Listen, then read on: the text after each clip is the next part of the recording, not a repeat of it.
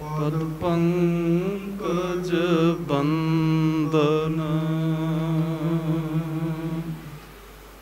ਸਿਮਰੋ ਅੰਗਦ ਦੁਖ ਨਿਕੰਦਨ।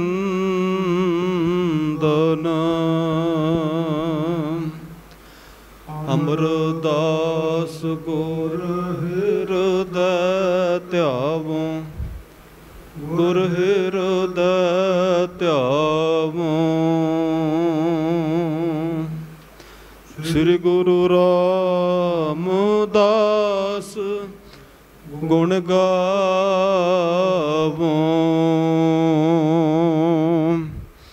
ਸ੍ਰੀ ਅਰਜਨ ਬੇਗਨਨ ਕੇ ਨਾਸਕ ਬਿਗਨਨ ਕੇ ਨਾਸਕ। ਹਰ ਗੋਬਿੰਦ ਸੋਭ ਸੁਮਤ ਪ੍ਰਕਾਸ਼ਕ।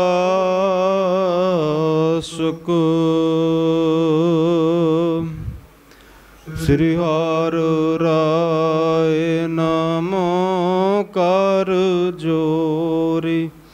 ਨਮੋ ਕਰ ਜੋਰੀ।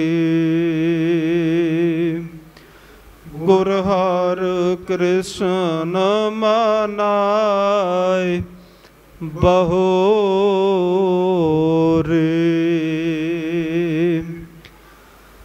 ਤੇਗ ਬਹਾਦਰ ਪਰਮ ਕਿਰਪਾਲ। ਪਰਮ ਕਿਰਪਾਲ। ਸ੍ਰੀ ਗੁਰੂ ਗੋਬਿੰਦ ਸਿੰਘ ਵਿਸਾਲਾ।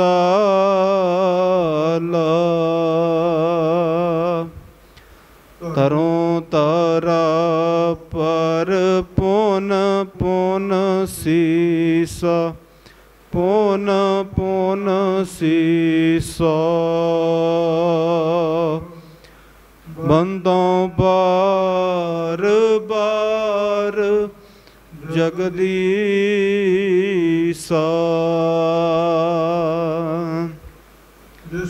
ਅੰਮ੍ਰਿਤ ਗਿਆਨ ਹੈ ਮਾਨਕ ਭਗਤ ਵੈਰਾਗ।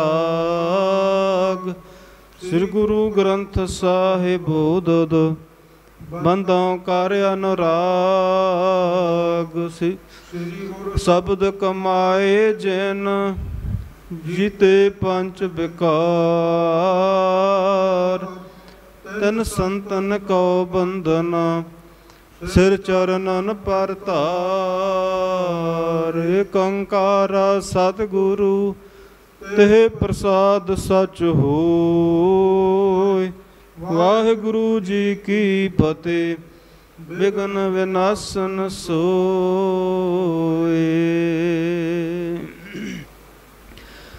ਸਤਨਾਮ ਸ੍ਰੀ ਵਾਹਿਗੁਰੂ ਸਾਹਿਬ ਜੀ।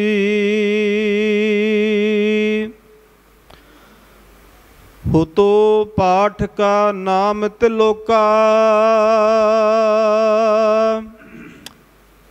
ਤੋਤਾ ਮਹਿਤਾ ਜਿਸ ਮਨ ਰੋਕਾ।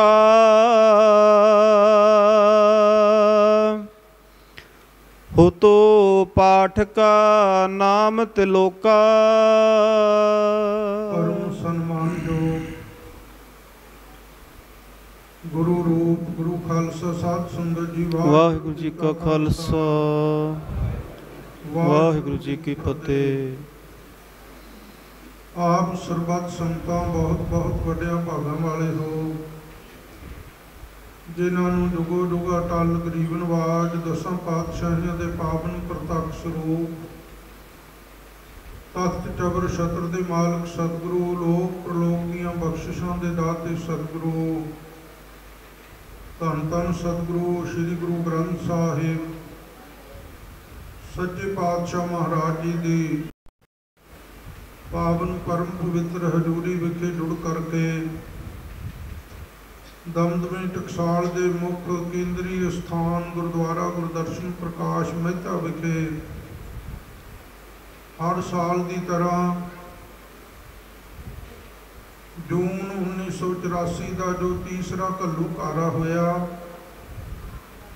ਉਹਨਾਂ ਸਮੂਹ ਸ਼ਹੀਦਾਂ ਦੀ ਯਾਦ ਵਿੱਚ ਬਹੁਤ ਹੀ ਸ਼ਰਧਾ, ਭਾਵਨਾ, ਵੈਰਾਗ ਅਤੇ ਉਤਸ਼ਾਹ ਦੇ ਨਾਲ ਆਪ ਸੰਗਤਾਂ ਜੁੜ ਕਰਕੇ ਹਾਜ਼ਰੀਆਂ ਭਰਦੇ ਹੋ। ਅੱਜ ਉਸ ਘੱਲੂਘਾਰੇ ਦਾ ਦੂਸਰਾ ਦਿਹਾੜਾ ਹੈ ਔਰ ਦੂਸਰੇ ਦਿਨ ਦਾ ਅੱਜ ਇਸ ਸਥਾਨ ਤੇ ਸ਼ਹੀਦੀ ਸਮਾਗਮ ਹੈ। ਆਪ ਜੀ ਨੇ ਸਭ ਤੋਂ ਪਹਿਲਾਂ ਦਮਦਮੀ ਟਕਸਾਲ ਦੇ ਹਜੂਰੀ ਰਾਗੀ ਜਥਿਆਂ ਤੋਂ ਭਾਈ ਗੁਰਲਾਲ ਸਿੰਘ ਜੀ ਦੇ ਜਥੇ ਤੋਂ, ਰਾਗੀ ਭਾਈ ਰਣਜੀਤ ਸਿੰਘ ਜੀ ਦੇ ਜਥੇ ਤੋਂ ਗੁਰਬਾਣੀ ਦਾ ਬਹੁਤ ਹੀ ਰਸ ਪਿੰਨਾ ਕੀਰਤਨ ਸਰਵਣ ਕੀਤਾ। ਉਸ ਤੋਂ ਉਪਰੰਤ ਬਹੁਤ ਹੀ ਸਨਮਾਨਯੋਗ ਸੱਚਖੰਡ ਸ੍ਰੀ ਹਰਮੰਦਰ ਸਾਹਿਬ ਜੀ ਦੇ ਹਜੂਰੀ ਰਾਗੀ ਜਥੇ ਭਾਈ ਸਾਹਿਬ, ਭਾਈ ਕੁਲਦੀਪ ਸਿੰਘ ਜੀ ਨੇ ਆਪ ਜੀ ਨੂੰ ਬਹੁਤ ਹੀ ਰਸ ਪਿੰਨਾ ਗੁਰਬਾਣੀ ਦਾ ਕੀਰਤਨ ਸਰਵਣ ਕਰਵਾਇਆ ਹੈ। ਜਿੱਥੇ ਆਪਾਂ ਸ਼ਹੀਦਾਂ ਦੀ ਯਾਦ ਮਨਾ ਰਹੇ ਹਾਂ ਔਰ ਦਮਦਮੀ ਟਕਸਾਲ ਦੇ 14ਵੇਂ ਮੁਖੀ ਕਥਨੀ ਕਰਨੀ ਦੇ ਪੂਰੇ ਸੂਰੇ ਸੂਰਬੀਰ ਮਹਾਬਲੀ ਯੋਧੇ ਮਹਾਪੁਰਖ ਅਮਰ ਸ਼ਹੀਦ ਸੰਤ ਬਾਬਾ ਜਰਨੈਲ ਸਿੰਘ ਜੀ ਖਾਲਸਾ ਪਿੰਡਰਾਂ ਵਾਲਿਆਂ ਦੀ ਮਿੱਠੀ ਯਾਦ ਨੂੰ ਤਾਜ਼ਾ ਕਰ ਰਹੇ ਹਾਂ। ਉੱਥੇ ਅੱਜ ਮੇਰੀ ਪੀਰੀ ਦੇ ਮਾਲਕ ਧੰਨ ਧੰਨ ਸਤਿਗੁਰੂ ਸ੍ਰੀ ਗੁਰੂ ਹਰਗੋਬਿੰਦ ਸਾਹਿਬ ਸੱਚੇ ਪਾਤਸ਼ਾਹ ਜੀ ਦਾ ਪਾਵਨ ਗੁਰਤਾ ਗੱਦੀ ਗੁਰਪੁਰਬ ਹੈ। ਧੰਨ ਸਤਿਗੁਰੂ ਸ੍ਰੀ ਗੁਰੂ ਅਰਜਨ ਦੇਵ ਸੱਚੇ ਪਾਤਸ਼ਾਹ ਮਹਾਰਾਜ ਜੀ ਨੇ ਅੱਜ ਦੇ ਦਿਹਾੜਿਆਂ ਤੇ ਸ੍ਰੀ ਅਕਾਲ ਤਖਤ ਸਾਹਿਬ ਜੀ ਵਿਖੇ ਜੋ ਅਸਥਾਨ ਕੋਠਾ ਸਾਹਿਬ ਹੈ ਜਿਸ ਨੂੰ ਕੋਠੜੀ ਸਾਹਿਬ ਵੀ ਕਿਹਾ ਜਾਂਦਾ ਸੀ, ਉਸ ਪਾਵਨ ਪਵਿੱਤਰ ਸਥਾਨ ਤੇ ਲਗਭਗ ਰਾਤਰੀ ਦੇ ਸਮੇਂ ਸਤਿਗੁਰੂ ਜੀ ਨੇ ਬਾਬਾ ਬੁੱਢਾ ਸਾਹਿਬ ਜੀ, ਭਾਈ ਗੁਰਦਾਸ ਜੀ ਮੁਖੀ ਸਿੱਖਾਂ ਨੂੰ ਆਪਣੇ ਪਾਸ ਬੁਲਾਇਆ। ਔਰ ਕੋਠਾ ਸਾਹਿਬ ਦੇ ਅੰਦਰ ਬੈਠ ਕਰਕੇ ਸਤਿਗੁਰੂ ਜੀ ਨੇ ਆਪਣੀ ਪਾਵਨ ਸ਼ਹੀਦੀ ਦੇਣ ਦਾ ਸਾਰਾ ਕਾਰਨ ਇਹਨਾਂ ਗੁਰਸਿੱਖਾਂ ਨੂੰ ਸਮਝਾਉਣਾ ਕੀਤਾ ਔਰ ਇਹ ਵੀ ਬਚਨ ਕੀਤਾ ਕਿ ਅੱਜ ਤੋਂ 13 ਦਿਨਾਂ ਬਾਅਦ ਅਸੀਂ ਸ਼ਹੀਦੀ ਦੇ ਦੇਣੀ ਹੈ। ਇਸ ਕਰਕੇ ਸ਼ਹਾਦਤ ਦੇਣ ਦਾ ਸਮਾਂ ਬਹੁਤ ਨੇੜੇ ਹੈ। ਸਾਹਿਬਜ਼ਾਦਾ ਸ੍ਰੀ ਹਰਗੋਬਿੰਦ ਸਾਹਿਬ ਜੀ ਗੁਰਤਾ ਗੱਦੀ ਦੇ ਯੋਗ ਹਨ। ਇਸ ਕਰਕੇ ਉਹਨਾਂ ਨੂੰ ਗੁਰਤਾ ਗੱਦੀ ਦੀ ਦਾਤ ਬਖਸ਼ਿਸ਼ ਕੀਤੀ ਜਾਏ। ਧੰਨ ਬਾਬਾ ਬੁੱਢਾ ਜੀ, ਭਾਈ ਗੁਰਦਾਸ ਜੀ ਨੇ ਸਤਿਗੁਰੂ ਜੀ ਦੇ ਨਾ ਹੁਕਮਾਂ ਅੱਗੇ ਨਤਮਸਤਕ ਹੁੰਦਿਆਂ ਮੇਰੀ ਪੀਰੀ ਦੇ ਮਾਲਕ ਧੰਨ ਸ੍ਰੀ ਗੁਰੂ ਹਰਗੋਬਿੰਦ ਸਾਹਿਬ ਜੀ ਨੂੰ ਕੋਠਾ ਸਾਹਿਬ ਦੇ ਅੰਦਰ ਲੈ ਕੇ ਆਏ। ਉਦੋਂ ਅਜੇ ਸ੍ਰੀ ਅਕਾਲ ਤਖਤ ਸਾਹਿਬ ਦੀ ਰਚਨਾ ਨਹੀਂ ਹੋਈ ਸੀ। ਸ੍ਰੀ ਅਕਾਲ ਤਖਤ ਸਾਹਿਬ ਜੀ ਦੀ ਰਚਨਾ ਬਾਅਦ ਵਿੱਚ ਸਤਿਗੁਰੂ ਸ੍ਰੀ ਗੁਰੂ ਅਰਜਨ ਦੇਵ ਸਾਹਿਬ ਜੀ ਦੀ ਸ਼ਹੀਦੀ ਤੋਂ ਉਪਰੰਤ ਹੋਈ ਹੈ ਇਹ ਕੋਠਾ ਸਾਹਿਬ ਜੀ ਦੀ ਸਾਰੀ ਸੇਵਾ, ਇਹ ਸਥਾਨ ਬਣਾਉਣ ਦੀ ਸੇਵਾ ਚੌਥੇ ਪਾਤਸ਼ਾਹ ਧੰਨ ਸ੍ਰੀ ਗੁਰੂ ਰਾਮਦਾਸ ਸਾਹਿਬ ਜੀ ਨੇ ਆਪ ਕਰਵਾਉਣਾ ਕੀਤੀ ਸੀ। ਜਿੱਥੇ ਅੱਜ ਸ੍ਰੀ ਅਕਾਲ ਤਖਤ ਸਾਹਿਬ ਜੀ ਦੀ ਇਮਾਰਤ ਦੇ ਅੰਦਰ ਰੋਜ਼ਾਨਾ ਸੱਚਖੰਡ ਸ੍ਰੀ ਹਰਮੰਦਰ ਸਾਹਿਬ ਜੀ ਵਿਖੇ ਸ੍ਰੀ ਗੁਰੂ ਗ੍ਰੰਥ ਸਾਹਿਬ ਜੀ ਦੇ ਸਰੂਪ ਸੋਨੇ ਦੀ ਪਾਲਕੀ ਵਿੱਚ ਸੁਭਾਏਮਾਨ ਕਰਕੇ ਸੰਗਤਾਂ ਲੈ ਕੇ ਜਾਂਦੀਆਂ ਹਨ ਔਰ ਅੰਮ੍ਰਿਤ ਵੇਲੇ ਸ੍ਰੀ ਗੁਰੂ ਗ੍ਰੰਥ ਸਾਹਿਬ ਜੀ ਦਾ ਪ੍ਰਕਾਸ਼ ਕੀਤਾ ਜਾਂਦਾ ਹੈ। ਰਾਤ ਨੂੰ ਸ੍ਰੀ ਗੁਰੂ ਗ੍ਰੰਥ ਸਾਹਿਬ ਜੀ ਦਾ ਸੁਖਾਸਨ ਕਰਨ ਤੋਂ ਉਪਰੰਤ ਕੀਰਤਨ ਸੋਹਲੇ ਸਾਹਿਬ ਜੀ ਦਾ ਪਾਠ ਅਤੇ ਅਰਦਾਸ ਤੋਂ ਬਾਅਦ ਸ੍ਰੀ ਗੁਰੂ ਗ੍ਰੰਥ ਸਾਹਿਬ ਜੀ ਨੂੰ ਸੁਨਹਿਰੀ ਪਾਲਕੀ ਦੇ ਵਿੱਚ ਸੁਭਾਏਮਾਨ ਕਰਕੇ ਬਾਪ ਸ੍ਰੀ ਅਕਾਲ ਤਖਤ ਸਾਹਿਬ ਜੀ ਦੇ ਅੰਦਰ ਕੋਠਾ ਸਾਹਿਬ ਸਥਾਨ ਤੇ ਲਿਆ ਕੇ ਸੁਖਾਸਨ ਅਸਥਾਨ ਤੇ ਸਤਿਗੁਰੂ ਜੀ ਨੂੰ ਬਿਰਾਜਮਾਨ ਕੀਤਾ ਜਾਂਦਾ ਹੈ। ਇਸ ਅਸਥਾਨ ਤੇ ਛੇਵੇਂ ਪਾਤਸ਼ਾਹ ਜੀ ਨੂੰ ਲਿਆਂਦਾ ਗਿਆ ਔਰ ਧੰਨ ਸਤਿਗੁਰੂ ਸ੍ਰੀ ਗੁਰੂ ਅਰਜਨ ਦੇਵ ਸੱਚੇ ਪਾਤਸ਼ਾਹ ਜੀ ਨੇ ਪੰਜ ਪੈਸੇ ਅਤੇ ਨਾਰੀਅਲ ਆਪਣੇ ਹਸਤ ਕਮਲਾਂ ਦੇ ਵਿੱਚ ਲੈ ਕਰਕੇ ਸੰਮਤ 1663 ਬਿਕਰਮੀ ਸੋਦੀ ਬਿਕਰਮੀ ਔਰ ਅਸ਼ਟਮੀ ਜੇਠ ਵਦੀ ਅਸ਼ਟਮੀ 1605 ਈਸਵੀ 15 ਮਈ ਨੂੰ ਅੱਜ ਦੇ ਦਿਨ ਧੰਨ ਗੁਰੂ ਹਰਗੋਬਿੰਦ ਸਾਹਿਬ ਜੀ ਨੂੰ ਗੁਰਤਾ ਗੱਦੀ ਦੀ ਦਾਤ ਬਖਸ਼ਿਸ਼ ਕੀਤੀ ਹੈ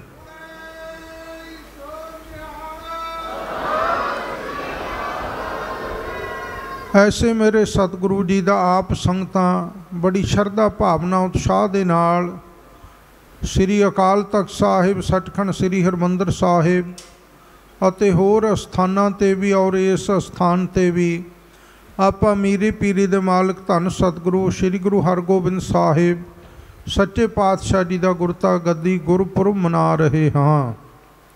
ਆਪ ਸੰਗਤਾਂ ਨੂੰ ਸਤਿਗੁਰੂ ਜੀ ਦੇ ਗੁਰਤਾ ਗੱਦੀ ਗੁਰਪੁਰਬ ਦੀ ਲੱਖ ਲੱਖ ਵਧਾਈ ਹੋਵੇ। ਔਰ ਅੱਜ ਤੋਂ 13 ਦਿਨਾਂ ਬਾਅਦ 14 ਜੂਨ ਨੂੰ ਧੰਨ ਸ੍ਰੀ ਗੁਰੂ ਅਰਜਨ ਦੇਵ ਸੱਚੇ ਪਾਤਸ਼ਾਹ ਜੀ ਦਾ ਸ਼ਹੀਦੀ ਗੁਰਪੁਰਬ ਵੀ ਮਨਾਇਆ ਜਾਣਾ ਹੈ।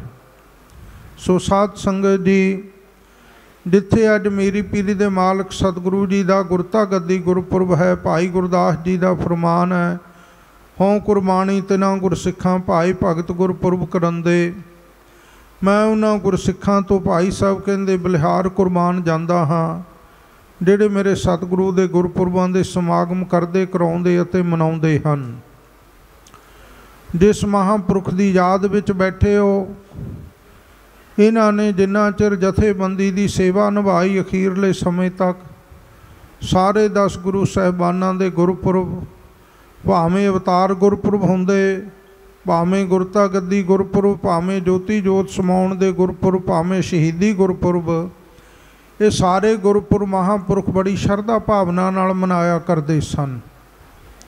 ਅਖੰਡ ਪਾਠ ਜਥੇ ਵਿੱਚ ਕਰਵਾ ਕੇ ਕੀਰਤਨ ਕਥਾ ਕਰਕੇ ਆਪ ਵਿਸ਼ੇਸ਼ ਤੌਰ ਤੇ ਸਾਰੀਆਂ ਸੇਵਾਵਾਂ ਨਿਭਾਉਂਦੇ ਰਹੇ। ਔਰ ਅੱਜ ਸਾਧ ਸੰਗਤ ਜੀ ਮਹਾਪੁਰਖ ਸੰਤ ਬਾਬਾ ਜਰਨੈਲ ਸਿੰਘ ਜੀ ਖਾਲਸਾ ਪਿੰਡਰਾਂ ਵਾਲਿਆਂ ਦਾ ਜਨਮ ਦਿਹਾੜਾ ਵੀ ਆਪਾਂ ਮਨਾ ਰਹੇ ਹਾਂ। ਰਾਗੀ ਭਾਈ ਕੁਲਦੀਪ ਸਿੰਘ ਜੀ ਨੇ ਸਭ ਤੋਂ ਪਹਿਲਾਂ ਸ਼ਬਦ ਪੜ੍ਹਿਆ ਸੀ, ਜਿਸ ਕਾ ਤਨ ਮਨ ਧਨ ਸਭ, ਤਿਸ ਕਾ ਸੋਈ ਸੁਗੜ ਸੁਜਾਨੀ, ਤਿਨ ਹੀ ਸੁਣਿਆ ਦੁੱਖ ਸੁਖ ਮੇਰਾ ਤੌਬਿਦ ਨੀਕੀ ਖਟਾਨੀ। ਕੁਦਰਤ ਦਾ ਸੰਯੋਗ ਹੈ। ਉਹਨਾਂ ਨੇ ਸ਼ਬਦ ਵੀ ਉਹ ਪੜਿਆ ਜਿਹੜਾ ਸ਼ਬਦ ਸ੍ਰੀ ਮੁਖਵਾਕ ਦੇ ਰੂਪ ਦੇ ਵਿੱਚ ਅੱਜ ਦੇ ਦਿਨ ਮਹਾਂਪੁਰਖਾਂ ਦਾ ਜਨਮ ਹੋਣ ਤੋਂ ਬਾਅਦ ਉਹਨਾਂ ਦੇ ਪਿਤਾ ਸਤਕਾਰਯੋਗ ਬਾਬਾ ਜੋਗਿੰਦਰ ਸਿੰਘ ਜੀ ਨੇ ਆਪ ਸਤਿਗੁਰੂ ਜੀ ਦੀ ਹਜ਼ੂਰੀ ਵਿੱਚ ਸਰਬਲੋ ਦੇ ਬਾਟੇ ਵਿੱਚ ਜਲ ਅਤੇ ਪਤਾਸੇ ਪਾ ਕੇ ਕਿਰਪਾਨ ਨਾਲ ਅੰਮ੍ਰਿਤ ਤਿਆਰ ਕਰਦਿਆਂ ਹੋਇਆ ਸੰਪੂਰਨ ਸ੍ਰੀ ਜਪਜੀ ਸਾਹਿਬ ਜੀ ਦਾ ਪਾਠ ਕਰਕੇ ਜਨਮ ਸੰਸਕਾਰ ਦੀ ਮਰਜ਼ਾਦਾ ਪੂਰੀ ਕੀਤੀ। ਅਰਦਾਸ ਕੀਤੀ, ਸਤਿਗੁਰੂ ਜੀ ਦਾ ਸ਼੍ਰੀ ਮੁਖਵਾਕ ਲਿਆ ਔਰ ਮਾਤਾ ਨਿਹਾਲ ਕੌਰ ਜੀ ਦੀ ਗੋਦ ਵਿੱਚ ਮਹਾਪੁਰਖਾਂ ਨੂੰ ਉਹ ਅੰਮ੍ਰਿਤ ਦੀ ਦਾਤ ਬਖਸ਼ਿਸ਼ ਹੋਈ ਔਰ ਜਿਸ ਕਾ ਤਨ ਮਨ ਧਨ ਸਭ ਤਿਸ ਕਾ ਸੋਈ ਸੁਗੜ ਸੁਜਾਨੀ, ਇਸ ਸ਼੍ਰੀ ਮੁਖਵਾਕ ਤੋਂ ਜੱਜੇ ਅੱਖਰ ਤੋਂ ਮਹਾਪੁਰਖਾਂ ਦਾ ਨਾਮ ਭਾਈ ਜਰਨੈਲ ਸਿੰਘ ਰੱਖਿਆ ਗਿਆ। ਸੋ ਸਾਧ ਸੰਗਤ ਜੀ, ਐਸੇ ਸਤਪੁਰਸ਼ਾਂ ਦਾ ਅੱਜ ਜਨਮ ਦਿਹਾੜਾ ਆਪਾਂ ਮਨਾ ਰਹੇ ਹਾਂ। ਵੈਸੇ ਪ੍ਰਭੂ ਦੇ ਪਿਆਰੇ ਜਿਹੜੇ ਹੁੰਦੇ ਆ, ਜੰਮਣ ਮਰਨ ਨਾ ਤਿੰਨ ਕੋ ਜੋ ਹਰ ਲੜ ਲਾਗੇ ਜੀਵਤ ਸੇ ਪ੍ਰਵਾਨ ਹੋਏ ਹਰ ਕੀਰਤਨ ਜਾਗੇ। ਉਹ ਜੰਮਣ ਮਰਨ ਦੀ ਕੈਦ ਤੋਂ ਨਿਰਲੇਪ ਹੁੰਦੇ ਆ। ਪਰ ਫਿਰ ਵੀ ਆਪਾਂ ਉਹਨਾਂ ਦੀਆਂ ਯਾਦਾਂ ਨੂੰ ਤਾਜ਼ੀਆਂ ਕਰਨ ਵਾਸਤੇ ਕਿਸੇ ਨਾ ਕਿਸੇ ਦਿਹਾੜੇ ਨਾਲ ਸੰਬੰਧਿਤ ਹੋਣ ਕਰਕੇ ਉਹਨਾਂ ਦੀ ਯਾਦ ਨੂੰ ਮਨਾਈਦਾ ਹੈ। ਪੰਡਤ ਗੁਲਾਬ ਸਿੰਘ ਜੀ ਨੇ ਬੜੇ ਸੁੰਦਰ ਸ਼ਬਦ ਲਿਖੇ ਆ।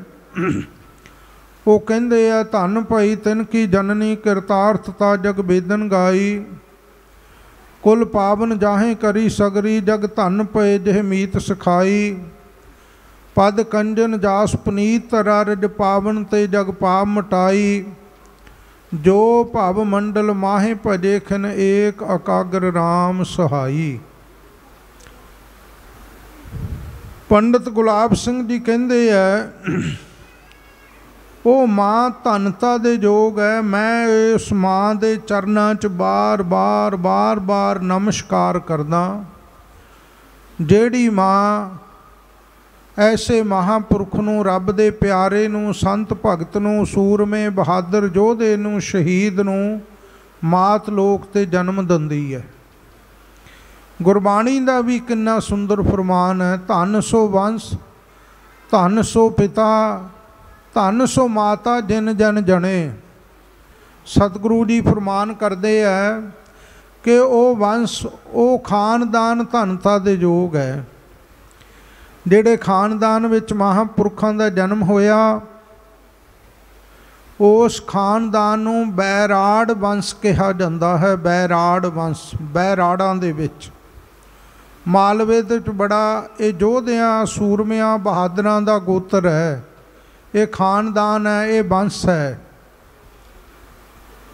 ਔਰ ਧੰਨ ਗੁਰੂ ਗੋਬਿੰਦ ਸਿੰਘ ਸਾਹਿਬ ਜੀ ਨੇ ਜਫਰਨਾਮੇ ਦੇ ਅੰਦਰ ਬੜੇ ਸੁੰਦਰ ਸ਼ਬਦ ਬੈਰਾੜ ਵੰਸ਼ ਬਾਬਤ ਲਿਖੇ ਹੈ। ਮਹਾਰਾਜ ਨੇ ਕੇਵਲ ਬਰਾੜ ਵੰਸ਼ ਲਈ ਲਿਖੇ ਹੈ। ਹਮ ਹੈ ਕੌਮ ਬੈਰਾੜ ਅਸਤ।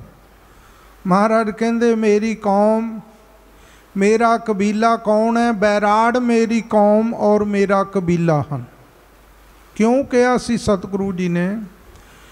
ਇਸ ਬੈਰਾੜ ਵੰਸ਼ ਦੇ ਲਾਸਾਨੀ ਮਹਾਪੁਰਖ ਸ਼ੂਰਬੀਰ ਜੋਧੇ ਭਾਈ ਦਾਨ ਸਿੰਘ ਜੀ ਹੋਏ। ਜਿਵੇਂ ਮਾਝੇ ਦੀ ਪੱਤ ਭਾਈ ਮਹਾ ਸਿੰਘ ਜੀ ਨੇ ਢਕੀ, ਇਸੇ ਤਰ੍ਹਾਂ ਮਾਲਵੇ ਦੀ ਵੀ ਪੱਤ ਭਾਈ ਦਾਨ ਸਿੰਘ ਜੀ ਨੇ ਢਕੀ ਸੀ। ਕਈ ਵਾਰੀ ਮਾਲਵੇ ਦੀਆਂ, ਮਾਲਵੇ ਦੇ ਕੁਝ ਲੋਕ ਮਾਝੇ ਦੇ ਸਿੰਘਾਂ ਨੂੰ ਨੀਮਾ ਦਿਖਾਉਣ ਵਾਸਤੇ ਗੁਰੂ ਕਾਲ ਦੇ ਵਿੱਚ ਇਹੋ ਜਿਹੇ ਸ਼ਬਦ ਵਰਤਿਆ ਕਰਦੇ ਸਨ ਕਿ ਤੁਸੀਂ ਸਤਿਗੁਰੂ ਜੀ ਦਾ ਸਾਥ ਛੱਡ ਗਏ ਸੀ। ਤੇ ਮਹਾਰਾਜ ਜੀ ਨੇ ਉਹਨਾਂ ਦਾ ਮਾਣ ਮੇਟਣ ਵਾਸਤੇ ਕੌਤਕ ਰਚਾਇਆ। ਕਿਉਂ ਰਚਾਇਆ ਕਿ ਆਪਸ ਦੇ ਵਿੱਚ ਇਹਨਾਂ ਦੀ ਕੋਈ ਨਫ਼ਰਤ ਨਾ ਰਹੇ? ਇੱਕ ਦੂਜੇ ਨੂੰ ਨੀਮਾ ਨਾ ਦਿਖਾਏ, ਇਹਨਾਂ ਨੂੰ ਬਰਾਬਰ ਕਰ ਦਈਏ।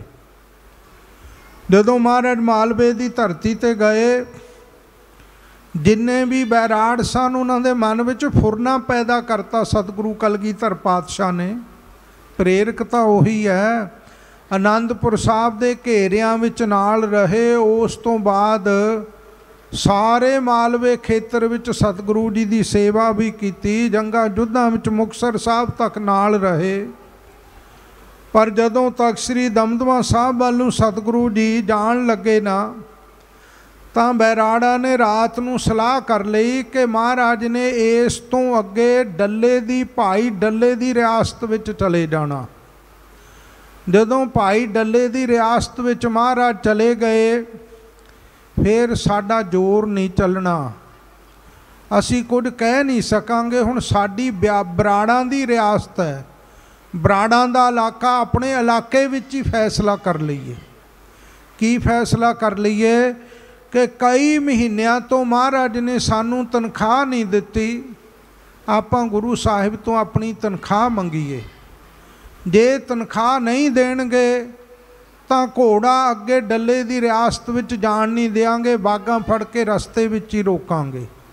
ਦੇਖੋ ਮਨ ਬਦਲਿਆ ਮਹਾਰਾਜ ਸਾਹਿਬ ਨੇ। ਉਹਨਾਂ ਦੀ, ਰਾਜਾ ਉਹਨਾਂ ਦੇ ਕੌਤਕ ਹੈ। ਜਦੋਂ ਮਹਾਰਾਜ ਸੱਚੇ ਪਾਤਸ਼ਾਹ ਘੋੜੇ ਤੇ ਸਵਾਰ ਹੋ ਕੇ ਅਗਲੇ ਪੜਾਅ ਨੂੰ ਚੱਲੇ ਤਾਂ ਬੈਰਾੜਾ ਨੇ ਅੱਗੇ ਆ ਕੇ ਮਹਾਰਾਜ ਦੇ ਘੋੜੇ ਦੀਆਂ ਵਾਗਾਂ ਫੜ ਲਈਆਂ। ਜਿਹੜੇ ਮਰ ਮਿਟਣ ਵਾਲੇ ਸਨ, ਅੱਜ ਕਿੱਥੋਂ ਤੱਕ ਉਹਨਾਂ ਦੀ ਬੁੱਧੀ ਕਠੋਰ ਹੋ ਗਈ ਹੈ, ਫਿਰ ਗਈ ਹੈ ਗੁਰੂ ਸਾਹਿਬ ਤੋਂ ਸ਼ਰਧਾ ਭਾਵਨਾ ਤੋਂ ਹੀਣੇ ਹੋ ਗਏ। ਸਤਿਗੁਰੂ ਮਹਾਰਾਜ ਜੀ ਦੇ ਅੱਗੇ ਬਰਛੀ ਕਰਕੇ ਕਹਿਣ ਲੱਗੇ, ਦੇਖੋ ਜਿਸ ਗੁਰੂ ਤੋਂ ਸ਼ਸਤਰਾਂ ਦੀ ਦਾਤ, ਉਸੇ ਗੁਰੂ ਨੂੰ ਅੱਜ ਸ਼ਸਤਰ ਵਿਖਾ ਰਹੇ ਹੈ। ਕਹਿੰਦੇ, ਤੁਹਾਨੂੰ ਅੱਗੇ ਤਾਂ ਜਾਣ ਦੇਾਂਗੇ ਪਹਿਲਾਂ ਸਾਡੀਆਂ ਤਨਖਾਹਾਂ ਦਿਓ। ਮਹਾਰਾਜ ਕਹਿਣ ਲੱਗੇ ਬੈਰਾੜ ਸੂਰਮਿਓ, ਤੁਸੀਂ ਸਾਡੀ ਬੜੀ ਸੇਵਾ ਕੀਤੀ ਹੈ।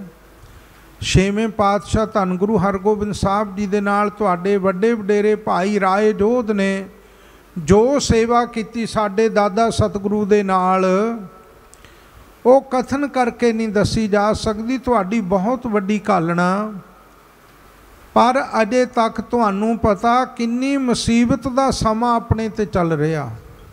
ਸੰਗਤਾਂ ਕਿਸੇ ਪਾਸੋਂ ਆਈਆਂ ਨਹੀਂ, ਧਨ ਗੁਰੂ ਕੇ ਖਜ਼ਾਨੇ ਵਿੱਚ ਨਹੀਂ ਆਇਆ।